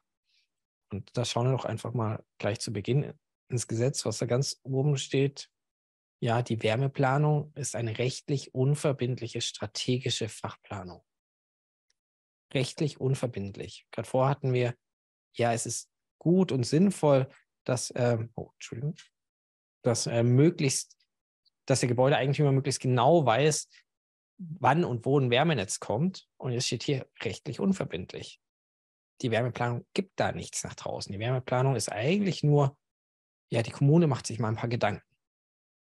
Und wie das zusammengeht und äh, wie sich die Kommune diese Gedanken macht, das schauen wir uns jetzt mal genauer an. Das Ziel der Wärmeplanung ist, dass die äh, Raumwärme, Warmwasser und Prozesswärme auf erneuerbare Energien und unvermeidbare Abwärme bis spätestens 2045 umgestellt wird. Äh, das Spannende hier ist wirklich, oder was meistens übersehen wird, ist auch hier die Prozesswärme. Die habe ich zumindest auch bei mir hier im Landkreis ganz häufig nicht berücksichtigt gesehen, weil da die Ingenieurbüros auch sagen, okay, da haben sie zu wenig Wissen darüber, sowohl über die Prozesse, was konkret in den einzelnen Unternehmen passiert, wie auch, dass die Datenlage nicht gut ist. Äh, erst recht wissen sie nicht, wie, wie das umgestellt wird. Und daher beschränken wir uns auch wir uns heute hier auf Raumwärme und Warmwasser. Dass es eben Prozesswärme gibt, wo ich direkt elektrisch oder auch mit Wasserstoff heiz, auf jeden Fall. Das ist aber eben nicht das, was den Großteil der Bürger draußen bewegt. Das ist nicht das, was ähm, äh, genau, also diese Prozesswärme ist nicht das, was äh, uns da irgendwie da groß beschäftigt. Oder auch im Gebäudeenergiegesetz spielt die Prozesswärme gar keine Rolle. Was steht jetzt konkret im Wärmeplanungsgesetz drin? Äh, prinzipiell die Pflicht zur Erstellung einer Wärmeplanung für alle Gemeindegebiete mit über 100.000 Einwohnern spätestens bis 30. Juni 2026 und für alle Gemeindegebiete mit bis zu 100.000 Einwohnern spätestens bis zum 30.06.2028. Tatsächlich sind nicht die Kommunen verpflichtet, sondern der Bund verpflichtet eben die Länder und die Länder werden dann wahrscheinlich die, ihre Kommunen verpflichten. Das heißt, es wird noch überall noch Landesgesetze brauchen oder notwendig sein, damit das Ganze auch wirklich die Kommunen verpflichtet. Und äh, das ist ein bisschen genau der Punkt, wo ich gerade gestruggelt habe vor, äh, wenn jetzt der Bund das Gesetz erlässt, inwieweit dann die Kommunen weiterhin noch berechtigt sind, Förderprogramme in Anspruch zu nehmen, weil allein durch das Bundesgesetz sind die Kommunen noch zu gar nichts verpflichtet.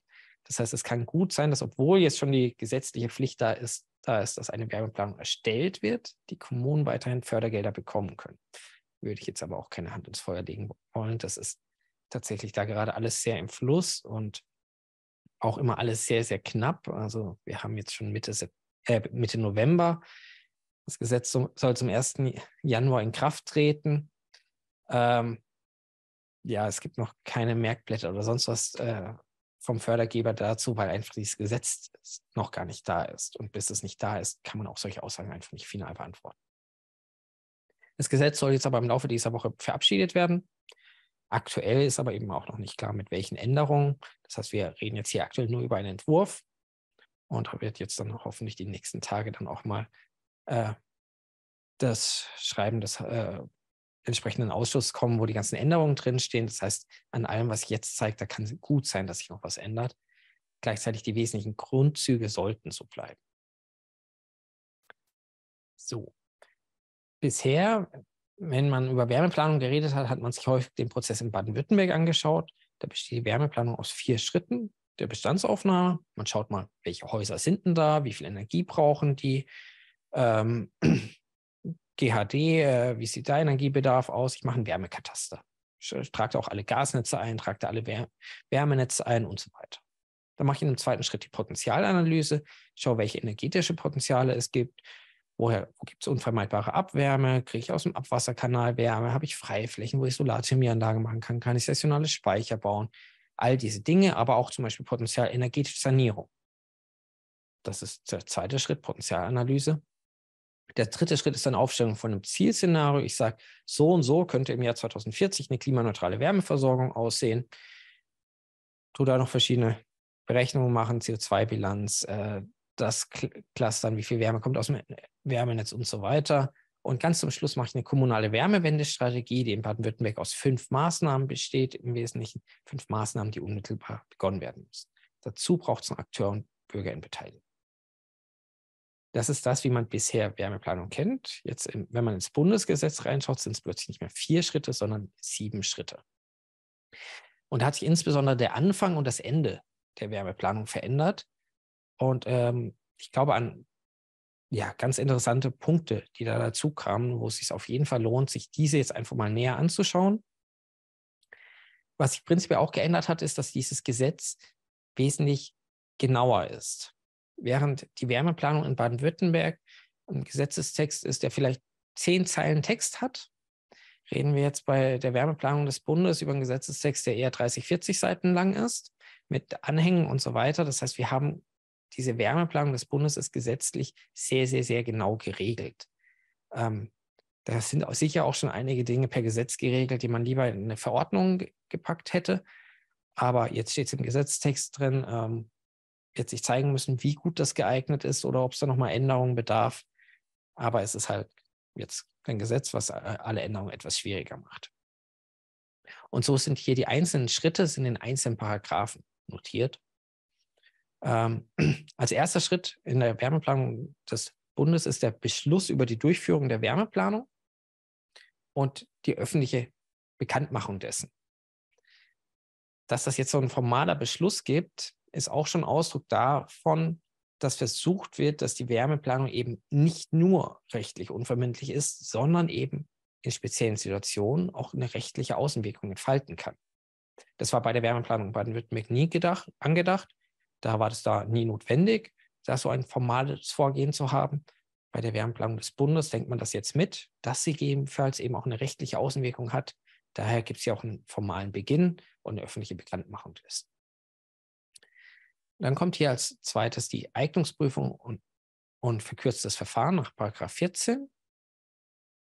Und zwar ähm, kann die Kommune, wenn die nachher äh, ausführendes äh, Träger ist, untersuchen, ob Gebiete oder Teilgebiete ihrer Kommune mit sehr hoher Wahrscheinlichkeit nicht für ein Wärmenetz oder Wasserstoffnetz geeignet sind. Das ist insbesondere dann der Fall, wenn es aktuell kein Wärmenetz oder Gasnetz vorhanden ist ähm, und die Siedlungsstruktur das nicht erwarten lässt, dass es wirtschaftlich ist.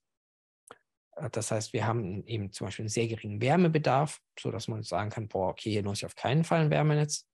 Wobei das, ich würde sagen, gar nicht so einfach ist. Es gibt, es gibt zum Beispiel auch viele Bioenergiedörfer, die einen, einen sehr geringen Wärmebedarf haben und trotzdem ist ein Wärmenetz wirtschaftlich, weil sie eben zum Beispiel eine sehr günstige Abwärmequelle haben, eine Biogasanlage und dann ein Akteur, der keinen großen Gewinn will und plötzlich ist es wirtschaftlich. Das heißt, generell zu sagen, dass ein Wärmenetz nicht wirtschaftlich ist, wird gar nicht so einfach sein. Aber bei einzelnen Höfen, die irgendwie weit voneinander entfernt liegen, kann man das sicher annehmen. Beim Wasserstoffnetz gibt es, äh, oder beim Gasnetz gibt es auch die Möglichkeit zu sagen, auch wenn ein Gasnetz ist, dass es äh, die Umstellung auf Wasserstoff nicht wirtschaftlich wird, da zieht man zusätzlich noch auf die Abnehmerstruktur ab, wo man sagt, ah ja, okay, mit dieser Abnehmerstruktur, also zum Beispiel nur private Gebäude, keinerlei Prozesswärme, wo es irgendwie Wasserstoff notwendig wäre, erscheint es auch unwirtschaftlich. Wenn das so festgestellt wird, dann kann ohne Erhebung von Daten ähm, gesagt werden, okay, hier brauchen wir keine große Wärmeplanung zu machen. Da müssen im Wesentlichen nur noch die Potenziale für die dezentrale Versorgung erhoben werden und dann ist man schon fertig. Das Ganze kann ich eben für die ganze Kommune machen oder auch nur für Teilgebiete, insbesondere eben auch für Kommunen kleiner 10.000 Einwohner soll das das verkürzte Verfahren sein. Ähm, Details kommen da aber ganz sicher noch einige. Dann kommen eben die drei Schritte, die wir gerade vorher schon hatten, Bestandsaufnahmen, Potenzialanalyse und die Aufstellung des Zielszenarios. Die Aufstellung des Zielszenarios in Paragraph 17 bezieht sich zum einen nach hinten und sagt, ja, okay, die Ergebnisse aus Paragraph 15 und 16 werden berücksichtigt, aber das Zielszenario besteht natürlich auch insbesondere aus Paragraph 18 und 19, also die Einteilung in Wärmeversorgungsgebieten und Arten. Und das ist ganz interessant, was da jetzt äh, gemacht wird. Ähm, mal interessant aus der Praxis, wenn man das jetzt äh, schon drei Jahre begleitet hat, weil das etwas ist, was bisher nicht selbstverständlich war. Also in Paragraph 18 Einteilung des geplanten Gebiets in voraussichtliche Wärmeversorgungsgebiete. Ähm, das heißt, jedes Gebiet, was mit Wärme versorgt wird, wird eingeteilt ähm, in eine Kategorie zwischen Wärmenetz, Wasserstoff oder dezentrales Gebiet. Und zwar die Technologie soll gewählt werden, die sich besonders eignet. Das sind zum einen geringe Wärmegestehungskosten, eine geringe Realisierungsrisiken, ein hohes Maß an Versorgungssicherheit und geringe kumulierte Treibhausgasemissionen bis zum Zieljahr. Das sind also die vier wichtigen Bewertungskriterien, nach denen ich aussuchen soll, welches Wärme, welche Wärmeversorgung in diesem Gebiet kommen wird. Und das sieht man natürlich auch schon, dass, warum ich so eindeutig bin, dass Wasserstoff das im, im Wohngebiet nicht sein wird. Ja, Wasserstoff hat halt gewisse Realisierungsrisiken. Bei Wasserstoff habe ich, bis ich auf Wasserstoff umstelle, hohe CO2-Emissionen, zum Beispiel durch Erdgas oder Erdöl. Ich habe äh, nicht unbedingt die Versorgungssicherheit garantiert, weil der Wasserstoff von äh, importiert werden muss. Und die Wärmegestehungskosten sind auch nicht so niedrig. Das heißt, wenn ich das zum Beispiel einfach vergleiche mit einer Wärmepumpe, wo ich unmittelbar auf erneuerbare Energien umstellen kann, den Strom hier lokal produzieren kann, ich schon heute weiß, dass die Wärmepumpentechnologie in ausreichenden Mengen verfügbar ist. Wir haben ja da gerade einen ganz großen Markthochlauf und es eigentlich auch heute schon preiswert ist und sich sogar mit Gasheizung schon messen kann, dann ist das einfach ein viel, viel geringeres Risiko. Und das heißt, allein nach diesen Bewertungskriterien sieht man dann eben schon ganz viele Gebiete, wenn es dezentral ist, äh, es wird eher dezentral wie ein Wasserstoffgebiet. Und dann ist eben nur noch die Frage, ob es wirklich ein dezentrales Gebiet wird oder ein Wärmenetzgebiet. Und spannend an dem Paragraph ist jetzt, dass hier diese Einteilung nicht nur für das Zieljahr erfolgt, sondern auch für die Betrachtungspunkte 2030, 2035 und 2040. Das heißt, bei dem, gerade bei dem Thema Wärmenetz sehe ich jetzt plötzlich eine Ausbaureihenfolge. Ich sehe, wo wird als erstes Wärmenetz realisiert bis 2030. Ich sehe, was danach kommt bis 2035, dann 2040 und dann erst 2045. Das heißt, für BürgerInnen habe ich jetzt hier in dem Gesetz plötzlich eine sehr, sehr hohe Planungssicherheit. Ähm, wenn Leute jetzt eine 20 Jahre alte Gasheizung haben, dann können die sagen, okay, noch fünf, sechs Jahre bis 2030 hält die auf jeden Fall, gar kein Problem. Da warten Sie doch mal noch ähm, und schließen sich dann gerne direkt ans Wärmenetz an. Aber ob die bis 2045 hält, hm, wahrscheinlich eher nicht. Oder zu sagen, ah, wenn erst 2045 das Wärmenetz kommen soll und meine Heizung geht jetzt heute kaputt, will ich jetzt echt nochmal 20 Jahre lang eine Gasheizung einbauen? Ist mir das dann nicht zu teuer auf dem Weg dahin mit den ganzen CO2-Emissionen, mit dem CO2-Preis, der immer teurer wird? Das heißt, dass ich hier nicht nur das Ziel ja betrachte, sondern den Weg dahin, gibt den Bürgern ganz, ganz viele Informationen. Für Sie als Kommune, die das jetzt aber diesen Plan erstellen müssen, ist plötzlich die Frage, ja, woher kommt denn eigentlich der Plan, wann ich bis wohin ausgebaut habe? Wie groß wird das Wärmenetz? Wie schnell wächst das Wärmenetz? Das wirft natürlich ganz viele Fragestellungen auf. Und was unsere Erfahrung ist, ist, dass diese Fragen eigentlich nur die Kommunen beantworten können, die einen Wärmenetzbetreiber haben. Die sagen, okay, ich habe eigene Stadtwerke und diese Stadtwerke, mit denen wird sich dann intensiv zusammengesetzt, redet man darüber, wie groß sind heute die Planungs- äh, oder die Baukapazitäten für Wärmenetze, wie können die sich entwickeln und dann kann man einen Fahrplan aufbauen. Und das heißt, an dieser Stelle wird es ganz, ganz zentral, wer setzt das Ganze um? Das ist eine ganz wichtige Frage und die muss beantwortet werden. Das ist in Baden-Württemberg jetzt bei ganz vielen Wärmeplänen tatsächlich nicht beantwortet worden, sondern man hat einfach nur gesagt, technisch geht hier ein Wärmenetz. Aber niemand hat beantwortet, wer setzt das eigentlich um? Gibt es jemand, der Interesse hat, hier ein Wärmenetz umzusetzen? Genau. Zusätzlich wird in dem Paragraph auch gesagt, dass noch Gebiete ausgewiesen werden sollen mit hohem Energieeinsparpotenzial, die zum Beispiel städtebauliche Sanierungsgebiete werden sollen. Das heißt, da habe ich dann auch nochmal einfach ein anderes Ergebnis nochmal raus, was mir dann noch in weiteren Schritten helfen kann. Was jetzt im nächsten Paragraph, in Paragraph 19 drin ist, ist, dass ich für jedes Teilgebiet sagen soll, wie gut es geeignet ist für die verschiedenen Wärmeversorgungsarten. Das heißt, ich nehme ein Teilgebiet und sage nicht nur, okay, ich will, dass hier ein Wärmenetz hinkommt, das ist das, was am wirtschaftlichsten ist, sondern ich bewerte sowohl Wärmenetz, Wasserstoff als auch dezentrale Gebiet. Wie gut ist es geeignet? Von sehr wahrscheinlich geeignet, über wahrscheinlich geeignet, wahrscheinlich ungeeignet bis sehr wahrscheinlich ungeeignet. Das heißt, als Entscheidungsträger oder auch als Bürger sehe ich plötzlich nicht nur, hier ist im Zielszenario ein Wärmenetz, sondern ich sehe auch, oh, gibt es gute Alternativen? Wenn da zum Beispiel ein Wärmenetz eingetragen ist, als wahrscheinlich geeignet, aber genauso gut ist die dezentrale Versorgung als wahrscheinlich geeignet eingetragen, dann weiß ich ja, okay, es ist nicht tragisch. Wenn vielleicht das Wärmenetz nicht kommt, dann machen äh, die Gebäudeeigentümer halt dezentrale Wärmepumpen. Wenn ich jetzt aber die Innenstadt habe, sehr, sehr dichte Bebauung und ich habe da Wärmenetz als sehr wahrscheinlich geeignet eingetragen und die äh, Luftwärmepumpe als sehr wahrscheinlich ungeeignet, weil die Innenstadt einfach viel zu dicht ist, da gar kein Platz ist, äh, um Wärmepumpen zu installieren, dann sollte jedem Entscheidungsträger klar sein, okay, hier müssen wirklich unbedingt Wärmenetze hin. Und das ist ganz, ganz wichtig, dass das dann frühzeitig angegangen wird, dass man die Planungssicherheit äh, sicherstellt, dass da auch wirklich ein Wärmenetz kommt. Das heißt, dass ich hier nochmal eine Übersicht habe, wie wahrscheinlich welche Variante ist, ähm, gibt einen ganz, ganz großen Mehrwert. Den gibt es momentan in Baden-Württemberg, gibt es diese Übersicht nur äh, in ganz wenigen Fällen von sehr wenigen Ingenieurbüros, die das wirklich sauber auch schon aufbereiten. Und ich glaube, das kann wirklich einen politischen Diskurs äh, ähm, extrem bereichern, weil ich habe plötzlich die Unterscheidung nicht nur, was ist hier sinnvoll, sondern auch, gibt es andere gute Optionen. Und wenn es andere gute Optionen gibt, dann kann ich ja drüber streiten. Kriegen wir das hin, ein Wärmenetz auf realisieren, sei es von den Bauzeiten, sei es vom Akteur oder eben nicht. Und das zusammen, im Zusammenspiel mit dem anderen Schritt, mit dem Schritt vorne dran, wo wir sagen, ja, wir haben auch noch die verschiedenen Zieljahre im Fokus, ähm, gibt plötzlich ein Bild, wo ich sehr genau einschätzen kann, was passieren kann. Also zum Beispiel, wenn ich jetzt sage, okay, ich habe hier ein Gebiet, was bis 2030 ein Wärmenetz haben soll und es ist sehr wahrscheinlich geeignet, aber die Wärmepumpe ist sehr wahrscheinlich ungeeignet, dann sollten wirklich alle, alle Hebel in Bewegung setzen, dass da auch wirklich ein Wärmenetz hinkommt. Wenn ich aber ein Gebiet habe, wo ich sage, ja, 2040 kommt vielleicht ein Wärmenetz und das Wärmenetz ist wahrscheinlich geeignet, die Wärmepumpe ist aber auch wahrscheinlich geeignet, ja, dann wird man mal schauen müssen.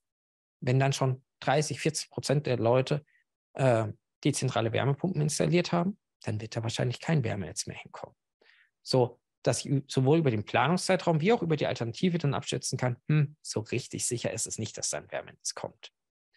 Und diese Daten, die muss jetzt das Planungsbüro aufbereiten und eben zur Verfügung stellen, sowohl für die Entscheidungsträger wie aber auch für die BürgerInnen, dass das alle eben mit einem guten informierten Stand haben. Aber eben auch hier wieder, es ist sehr, sehr wichtig, wer setzt das Ganze um. Ob ein Wärmenetz sehr gut geeignet ist, hängt nun mal auch von der Renditeerwartung ab, hängt davon ab, was für ein Akteur das umsetzt. Das heißt, es ist gar nicht so einfach, wenn ich eben noch nicht weiß, wer das am Ende machen soll. Und da schauen wir mal noch in Paragraph 20 rein. Der ist nämlich auch sehr spannend. Der geht weit über das hinaus, was aktuell in Baden-Württemberg drin steht. Ich bin gespannt, ob der wirklich genau so verabschiedet wird oder ob es hier nochmal eine Veränderung gibt, nämlich in Paragraph 20 Umsetzungsstrategie. Da steht dann, dass die planungsverantwortliche Stelle eine Umsetzungsstrategie entwickeln muss mit von ihr unmittelbar selbst zu realisierenden Umsetzungsmaßnahmen, mit denen das Ziel der Versorgung mit ausschließlich aus erneuerbaren Energien bis zum Zieljahr erreicht werden kann. Das heißt, die planungsverantwortliche Stelle, das wird im Normalfall die Kommune sein, muss Maßnahmen beschließen, mit denen Klimaneutralität erreicht wird. Und zwar Maßnahmen, die sie selbst durchführen kann. Das kann zum Beispiel sein, ich habe ein Sanierungsmanagement und informiere Bürger darüber, wie sie Gebäude sanieren. Aber es kann natürlich auch sein, ich errichte ein Wärmenetz. Was an der Stelle auch möglich ist, ist, dass sie Vereinbarungen schließt mit Dritten, die dann diese Maßnahmen umsetzen. Und das ermöglicht ihr jetzt zu sagen, ah ja, okay, nee, also ich als Kommune will gar kein Wärmenetz bauen, aber ich habe hier einen externen Akteur, der baut in meiner ganzen Innenstadt das Wärmenetz, ja wunderbar, dann schließe ich hier eine Vereinbarung, passt. Aber wenn die Kommune jetzt aufgrund dieses Paragraphs anfängt, jemanden zu suchen und niemanden findet, dann muss sie sich halt anfangen, die Frage zu stellen, entweder macht sie es selbst oder aber sie muss ein anderes Ergebnis in die Wärmeplanung reinschreiben, weil sie sagt, okay, offensichtlich finde ich niemanden, das Realisierungsrisiko ist zu groß, dann müssen wir ein anderes Zielszenario wählen. Und das halte ich für sehr, sehr, sehr wertvoll, dass sich frühzeitig Gedanken darüber gemacht werden, wer setzt das Ganze um, wie ist das Ganze umsetzbar, in welchem Zeitplan läuft das ab. Und das ermöglicht jetzt, dass die Wärmeplanung wirklich ähm, aufzeigen kann, wie die lokale Wärmewende umgesetzt wird. Und ähm, unsere Erfahrung ist, dass in den meisten Kommunen, wo es bisher keine Stadtwerke gibt, wir eigentlich darüber re reden und diskutieren, wie bringen sich Kommunen da ein, dass danach das tatsächlich umgesetzt werden kann. Thema Akteur ist aber ein ganz eigenes Thema. Darüber wollen wir vor allem morgen diskutieren. Wenn ich jetzt diese Paragraph 18, 19 und 20 anschaue, die wir jetzt gerade hatten, dann wirkt das alles sehr, sehr verbindlich. Aber wir dürfen eben nicht vergessen, die Wärmeplanung hat immer noch keine rechtliche Außenwirkung. Im GEG gab es doch aber diesen Paragraphen, wo sie eine rechtliche Außenwirkung hatte mit den zehn Jahren beim Wärmenetz oder beim Wasserstoffnetz bis 2045. Wie hängt das jetzt zusammen? Ja, ich habe hier mal eine kleine Übersicht. Bei der Wärmeplanung Baden-Württemberg war das nie angedacht, dass die irgendwie eine rechtliche Außenwirkung hat. Das heißt, es war ganz klar, es ist ein unverbindlicher Wärmeplan nach Landesgesetz. Auch die Wärmeplanung des Bundes ist erstmal rechtlich unverbindlich, hat keine rechtliche Außenwirkung.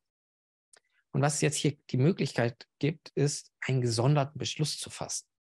Das heißt, der, die Wärmeplanung wird beschlossen und fertiggestellt, ist eine rechtlich unverbindliche Planung, keine rechtliche Außenwirkung, fertig.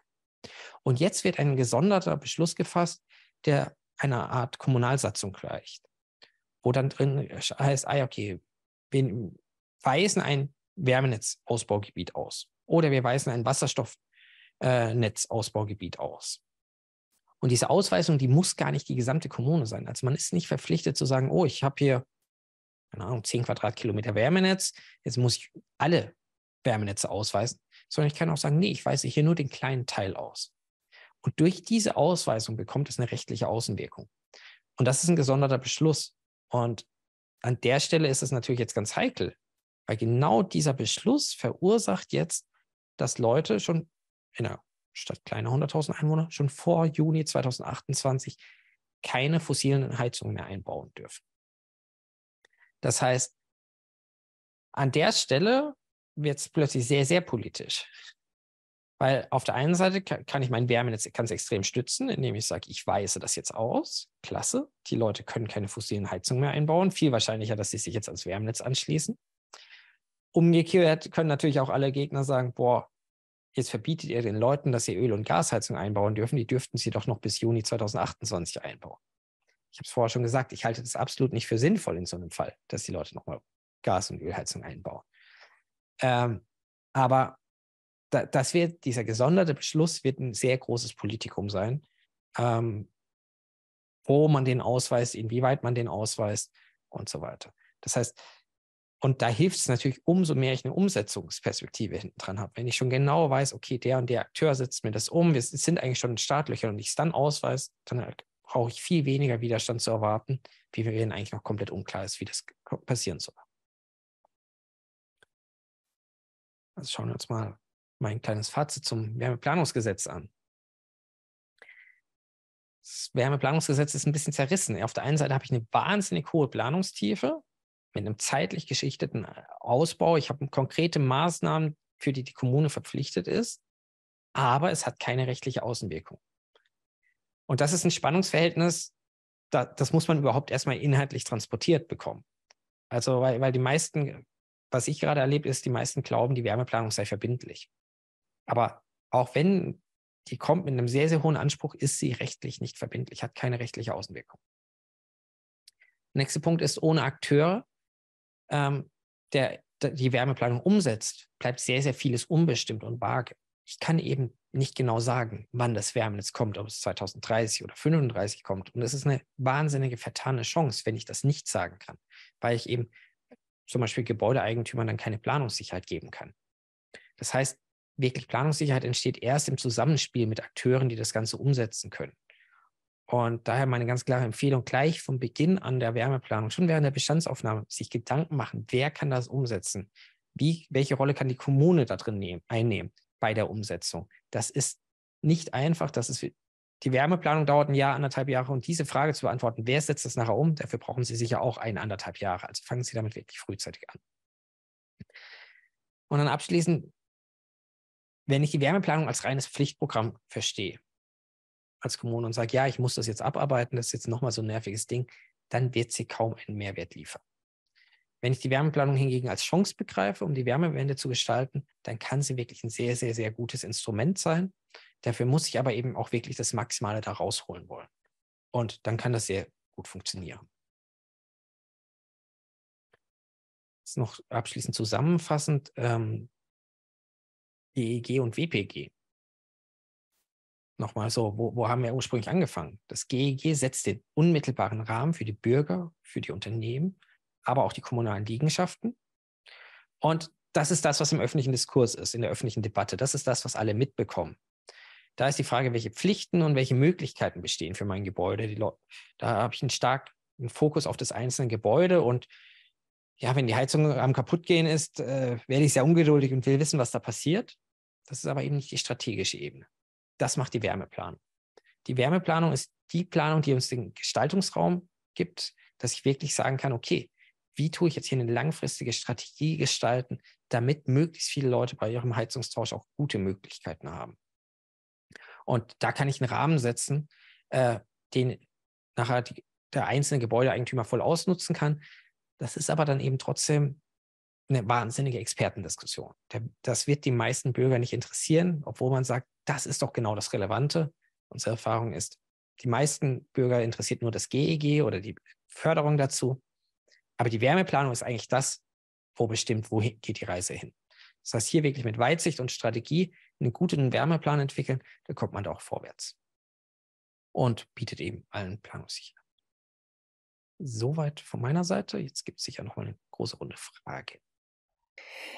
Ja, vielen Dank, Raphael Gusek, für diese äh, kompakte Übersicht äh, über diese Gesetze. Äh, ich glaube, es ist relativ einzigartig, das in so einer Veranstaltung zu haben. Deswegen bin ich äh, auch sehr froh darüber. Äh, wir haben jetzt noch eine Viertelstunde Zeit und haben noch sehr viele Fragen. Deswegen ähm, muss ich äh, leider schon mal warnen, dass wir wohl nicht mehr schaffen, alle zu bearbeiten. Aber wir haben ja auch noch morgen, wo wir uns noch mal mehr mit den Wärmenetzen überhaupt beschäftigen beschäftigen. Also wo können Wärmenetze gut äh, umgesetzt werden und auch die Frage zu den Akteuren. Also welche Akteure brauchen wir und wie kommt man dann Akteure, wenn man keine hat? Ähm, ich würde ganz gerne noch zwei Komplexe hier aufgreifen und das, der erste Komplex, da geht es eben um schon mal doch so ein bisschen um diese Wärmenetze beziehungsweise die Aussicht ähm, auf die ähm, Wärmenetze in der Wärmeplanung. Äh, da gab es zum einen die Frage, also von jemandem, der sagte, dass seine Kommune pauschal sagt, dass das Gasnetz in 30 Jahren auf Wasserstoff umgestellt wird, ähm, ist die Frage, also die, seine Frage war, was halten Sie davon? Äh, äh, die Frage ist ja auch, ja, geht das im Rahmen der Wärmeplanung? Ähm, ich würde mal sagen, nach dem Gehörten Wahrscheinlich schon, aber das leitet auch über zu einer anderen Frage. Gibt es eigentlich Qualitätskriterien für eine Wärmeplanung? Also äh, wird es nochmal irgendwie geprüft, ob das überhaupt als Wärmeplanung so durchgehen kann? Ähm, es war eine Frage danach, wie werden dann Wärmenetze überhaupt regenerativ? Und wir hatten die Frage nach, den, nach der Bedeutung der kalten Nahwärme. Also was, äh, was bietet die kalte Nahwärme? In welchen Bereichen ist das eine Lösung? Vielleicht so in diesem Strauß der Fragen mal so in den Raum gestellt. Sehr schön, vielen Dank für die Fragen. Ähm, genau, Gasnetz in 30 Jahren komplett auf Wasserstoff umgestellt. Ja, erstmal dann hoffentlich in 22 Jahren und nicht in 30 Jahren, weil 30 Jahren wäre es viel zu spät. Ähm, ja, die Kommune oder das Planungsbüro, was dann meistens beauftragt wird, muss das dann halt sauber untersuchen und sagen, ist das die wirtschaftlichste Variante mit dem geringsten Risiko? Würde ich ganz generell Zweifel dran heften. Ähm, also muss man sich halt genau anschauen, warum sollte das hier die wirtschaftlichste Option sein? Ähm, und vor allem auch auf dem gesamten Transformationsweg dahin. Zusätzlich noch die Anforderung, äh, Treibhausgas, möglichst geringe Treibhausgasemissionen bis dahin zu haben wird man sicher kreativ sein müssen, das zu begründen. Ähm, wenn man das begründet, wahrscheinlich geht es durch, aber ähm, ich glaube, genau deshalb muss man damit in den politischen Diskurs, genau deshalb ist es so wertvoll, dass dann plötzlich drin steht, ja, und wie sehr sind die anderen Varianten geeignet?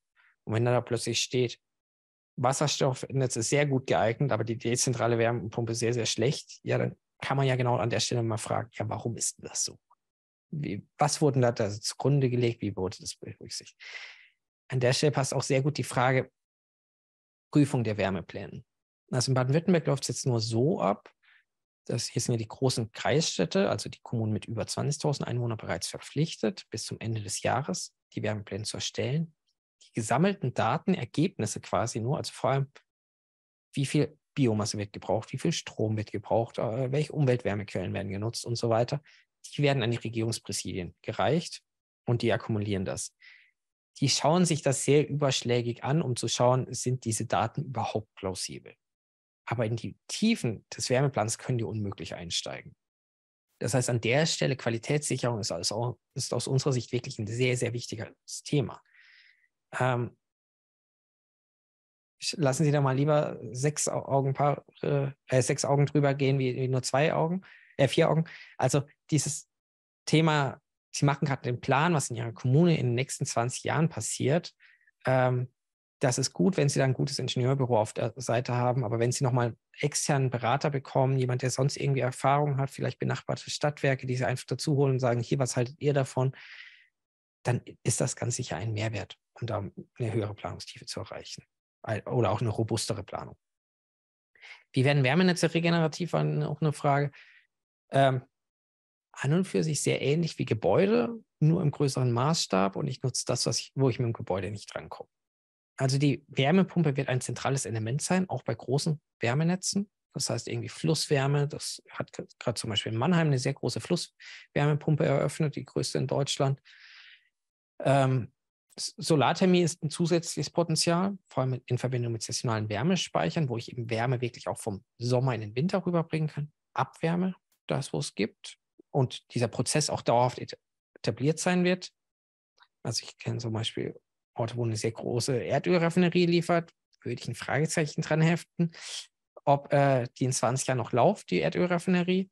Aber zum Beispiel ein Stahlwerk, was komplett auf Strom basiert, ähm, das wird ganz sicher weiter laufen. Und so muss ich so ein bisschen schauen, was finde ich, Abwasserkanal ist was Typisches. Im Abwasserkanal kann ich üblicherweise 10% meiner Wärme meines Ortes rausziehen, wenn ich an der richtigen Stelle bin. Wunderbar. Das kann ich schon mal ins Wärmenetz einspeisen. Für die individuellen Gebäude steht es nicht zur Verfügung. Ja, dann noch die Frage zur kalten Nahwärme. Ja, ich würde sagen, kalte Nahwärme würde ich immer als geteilte äh, Umweltwärme bezeichnen. Das heißt, ich habe nicht die Vorteile wie in einem Wärmenetz, nämlich dass ich zum Beispiel einen großen Speicher haben kann, wo ich dann eine Woche lang keine Wärmepumpen laufen habe, wenn der Strompreis sehr, sehr hoch ist, weil jeder seine individuelle Wärmepumpe hat. Aber es ist eben meistens besser wie die äh, individuelle Luftwärmepumpe, weil ich bessere energetische Potenziale heben kann, wie zum Beispiel gemeinsame Erdwärmesonden oder ich habe den Fluss, wo dann an einer Stelle mit einem Einlass- und Auslassbauwerk Wärme rausgeholt wird für alle. Das heißt, meistens ist es effizienter wie Luftwärmepumpen, Aber systemdienliche Vorteile wie bei einem Warmwärmenetz, die verliere ich da ganz häufig dabei. Dann haben wir noch eine Frage, wann es Abschätzungen darüber gibt, ähm, also wann es genug regenerativen Strom gibt für die Wärmepumpen, also sowohl die individuellen Wärmepumpen als auch die Wärmepumpen, Großwärmepumpen in Wärmenetzen in Deutschland. Genau, ähm, das ist wirklich ein ganz, ganz wichtiger Punkt. Wenn ich die Wärmeplanung mache, so blöd es klingt, ich muss darauf vertrauen, dass der Strom erneuerbar wird. Ähm, da haben wir im letzten Jahr sehr, sehr viele Gesetze gesehen, dass der Strom bis 2030 zu 80 Prozent erneuerbar sein soll. Und zwar nicht auf der Strommenge, die wir heute haben, sondern mit einem ordentlichen Stromwachstum. Und das schon bereits bis 2030. Bis 2035 ist das Ziel komplett erneuerbar und die Strombereitstellung soll dann noch bis 2040 oder gar 2045 weiter wachsen. Das heißt, inzwischen der Stromsektor ist auf dem richtigen Zielpfad sowohl Wachstum im Sinne von der Gesamtmenge Strom, die wir produzieren, wie auch der, der Anteil der erneuerbaren Energien soll immer weiter wachsen. Und daher, ja, dem muss ich vertrauen, dass wir das hinkriegen. Deshalb müssen wir überall PV-Photovoltaikanlagen bauen, wo es geht, und Windräder bauen, wo es geht. Aber dafür darf ich es dann im Wärmesektor wirklich als Gesetz annehmen, dass der Strom erneuerbar wird. Norbert Weber hatte noch mal äh, die Nachfrage, also wenn die Wärmeplanung verabschiedet ist, dann gibt es doch eine rechtliche Außenwirkung, nämlich dass ab diese Zeit, ab diesem Zeitpunkt keine fossilen Heizungen mehr eingebaut werden dürfen. Ist das richtig? Also wie, wie ist jetzt nochmal genau der Zusammenhang zwischen der WPG und GEG? Es ist an der Stelle tatsächlich leider missverständlich. Wenn ich ins Gebäudeenergiegesetz reinschaue, dann steht das da genau so, ich glaube in Paragraph 71 Absatz 9. Und ich lese da, ah ja, okay, einen Monat nachdem die Wärmeplanung verabschiedet ist, hier da, darf ich nicht mehr nach Absatz 8 äh, fossile Heizungen einbauen. Das, aber das GEG ist nicht der Ort, wo die Wärmeplanung definiert ist. Das heißt, ich muss dann dafür ins WPG, ins Wärmeplanungsgesetz reinschauen und schauen, wo steht, wo ist der entsprechende Paragraph, dass die Wärmeplanung einen Einfluss auf das GEG hat. Und das müsste jetzt Paragraph 26 im WPG sein, der da ganz klar sagt, nein, ich brauche einen gesonderten Satzungsbeschluss, sonst hat die Wärmeplanung keine rechtliche Außenwirkung. Und genau das führt gerade zu ganz, ganz vielen Missverständnissen, dass alle Leute das GEG vorlegen, weil ja, das GEG ist schon beschlossen, aber ich eigentlich ins WPG reinschauen müsste, was gar nicht beschlossen ist, um das GEG richtig zu verstehen. Also das haben wir wirklich gerade über die gesamte Bandbreite, dass das gerade falsch erzählt wird. Ähm, äh, gesamte Bandbreite von allen Expertinnen, ne? also wirklich äh, Leuten, die ich sehr, sehr schätze, die es in öffentlichen Vorträgen schon falsch dargestellt haben. Äh, und wo gerade auch die La KRBW versucht auf allen Kanälen zum Beispiel, also die Landesenergieagentur Baden-Württemberg, das richtig zu stellen. Weil in Baden-Württemberg ist das wirklich sehr, sehr relevant, weil jetzt dann über 50 Prozent der Bürger in Kommunen leben, wo, die, wo schon eine Wärmeplanung vorliegt. Und ja, die dürfen weiterhin auch ab dem 1.1.24 fossile Heizungen einbauen. Gibt es denn eine Garantie, dass irgendwann dieser Beschluss kommt? Oder können Kommunen auch einfach sagen, wir äh, fassen gar keinen Beschluss und dann, dann gilt das GEG nie? Jein. Also genau, es gibt keinen Zwang, diesen Beschluss zu fassen. Aber eben im GEG steht ja ganz klar drin, bis Juni 2028 für Kommunen 100, kleiner 100.000 Einwohner oder bis eine Wärmeplanung vorliegt. Das heißt, dies oder bis eine Wärmeplanung vorliegt, genau diesen Satz würde ich dann einfach durchstreichen mal. Dann entstehen da keine Missverständnisse mehr, nämlich dann Juni 2028 ist dann der Stichtag. Gut, ich glaube, das war jetzt auch nochmal wichtig. Ähm, ich habe noch eine pragmatische Frage und zwar, wie viel kostet eigentlich die Wärmeplanung für die Kommune? Das ist eine sehr gute Frage. Ähm, also in Baden-Württemberg gibt es eine Konnexitätszahlung für die verpflichteten Kommunen und für die anderen freiwilligen Kommunen gibt es Fördergelder, recht üppig. Und das hat jeweils eigentlich so ungefähr ausgereicht. Das heißt, irgendwie eine Kommune mit 20.000 Einwohnern lag so vor zwei, drei Jahren vielleicht bei 50.000, 60.000 Euro. Ähm, jetzt haben wir beim Bundesförderprogramm, was schon wesentlich umfassender war wie die Landes Planung in Baden-Württemberg plötzlich teilweise von Angeboten gehört aus anderen Bundesländern, die eher Richtung eine halbe Million gingen. Ähm, das heißt, ja, das ist sowohl eine Fragestellung nach Leistungsumfang und ich würde sagen, dass das Bundesgesetz jetzt wieder etwas geringeren Leistungsumfang hat wie die Bundesförderung, was ganz gut ist, weil die Bundesförderung eine große Überlappung hatte zur BEW, zur Bundesförderung für effiziente Wärmenetze. Und die Wärmeplanung ist nun mal keine Wärmenetzplanung. Und das wurde da so ein bisschen vermischt mit Fokusgebieten. Und ähm, ja, aber wo sich der Preis einpendelt, ist natürlich auch eine Frage von Nachfrage und Angebot. Also wie schnell, wie viele Planungsbüros stehen jetzt da, die das wirklich auch können. Und ja, wird man schauen müssen, wo sich der Preis einpendelt. Aber ich glaube, es lohnt sich eher schneller zu sein, wie lange zu warten. Ja, es gab auch noch eine Frage nach dem Zusammenhang zwischen der Wärmeplanung und dem BEG. Ich würde die jetzt mal äh, hinten anstellen und morgen nochmal wieder aufgreifen und lieber nochmal einen anderen äh, Komplex hier anreißen, und zwar die Frage nach der Förderung im BEG. Das ist nun so ein bisschen am Rande unser Thema, aber sicherlich auch interessant.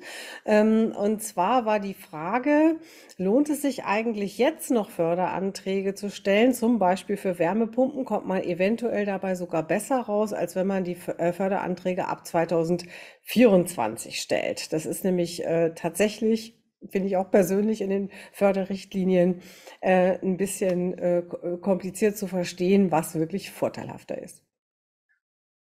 Ja, abschließend kann man die Frage erstmal nur beantworten, wenn dann endlich die neue Förderrichtlinie draußen ist und die ist immer noch nicht draußen. Das heißt, man kann sich nur momentan auf verschiedene Veröffentlichungen stützen äh, und hoffen, dass man es richtig erfasst hat. Ähm, es sieht so aus, dass der Fördersatz immer mindestens so hoch ist oder in vielen Fällen sogar höher wie aktuell. Was aber runtergeht, sind die maximal förderfähigen Kosten.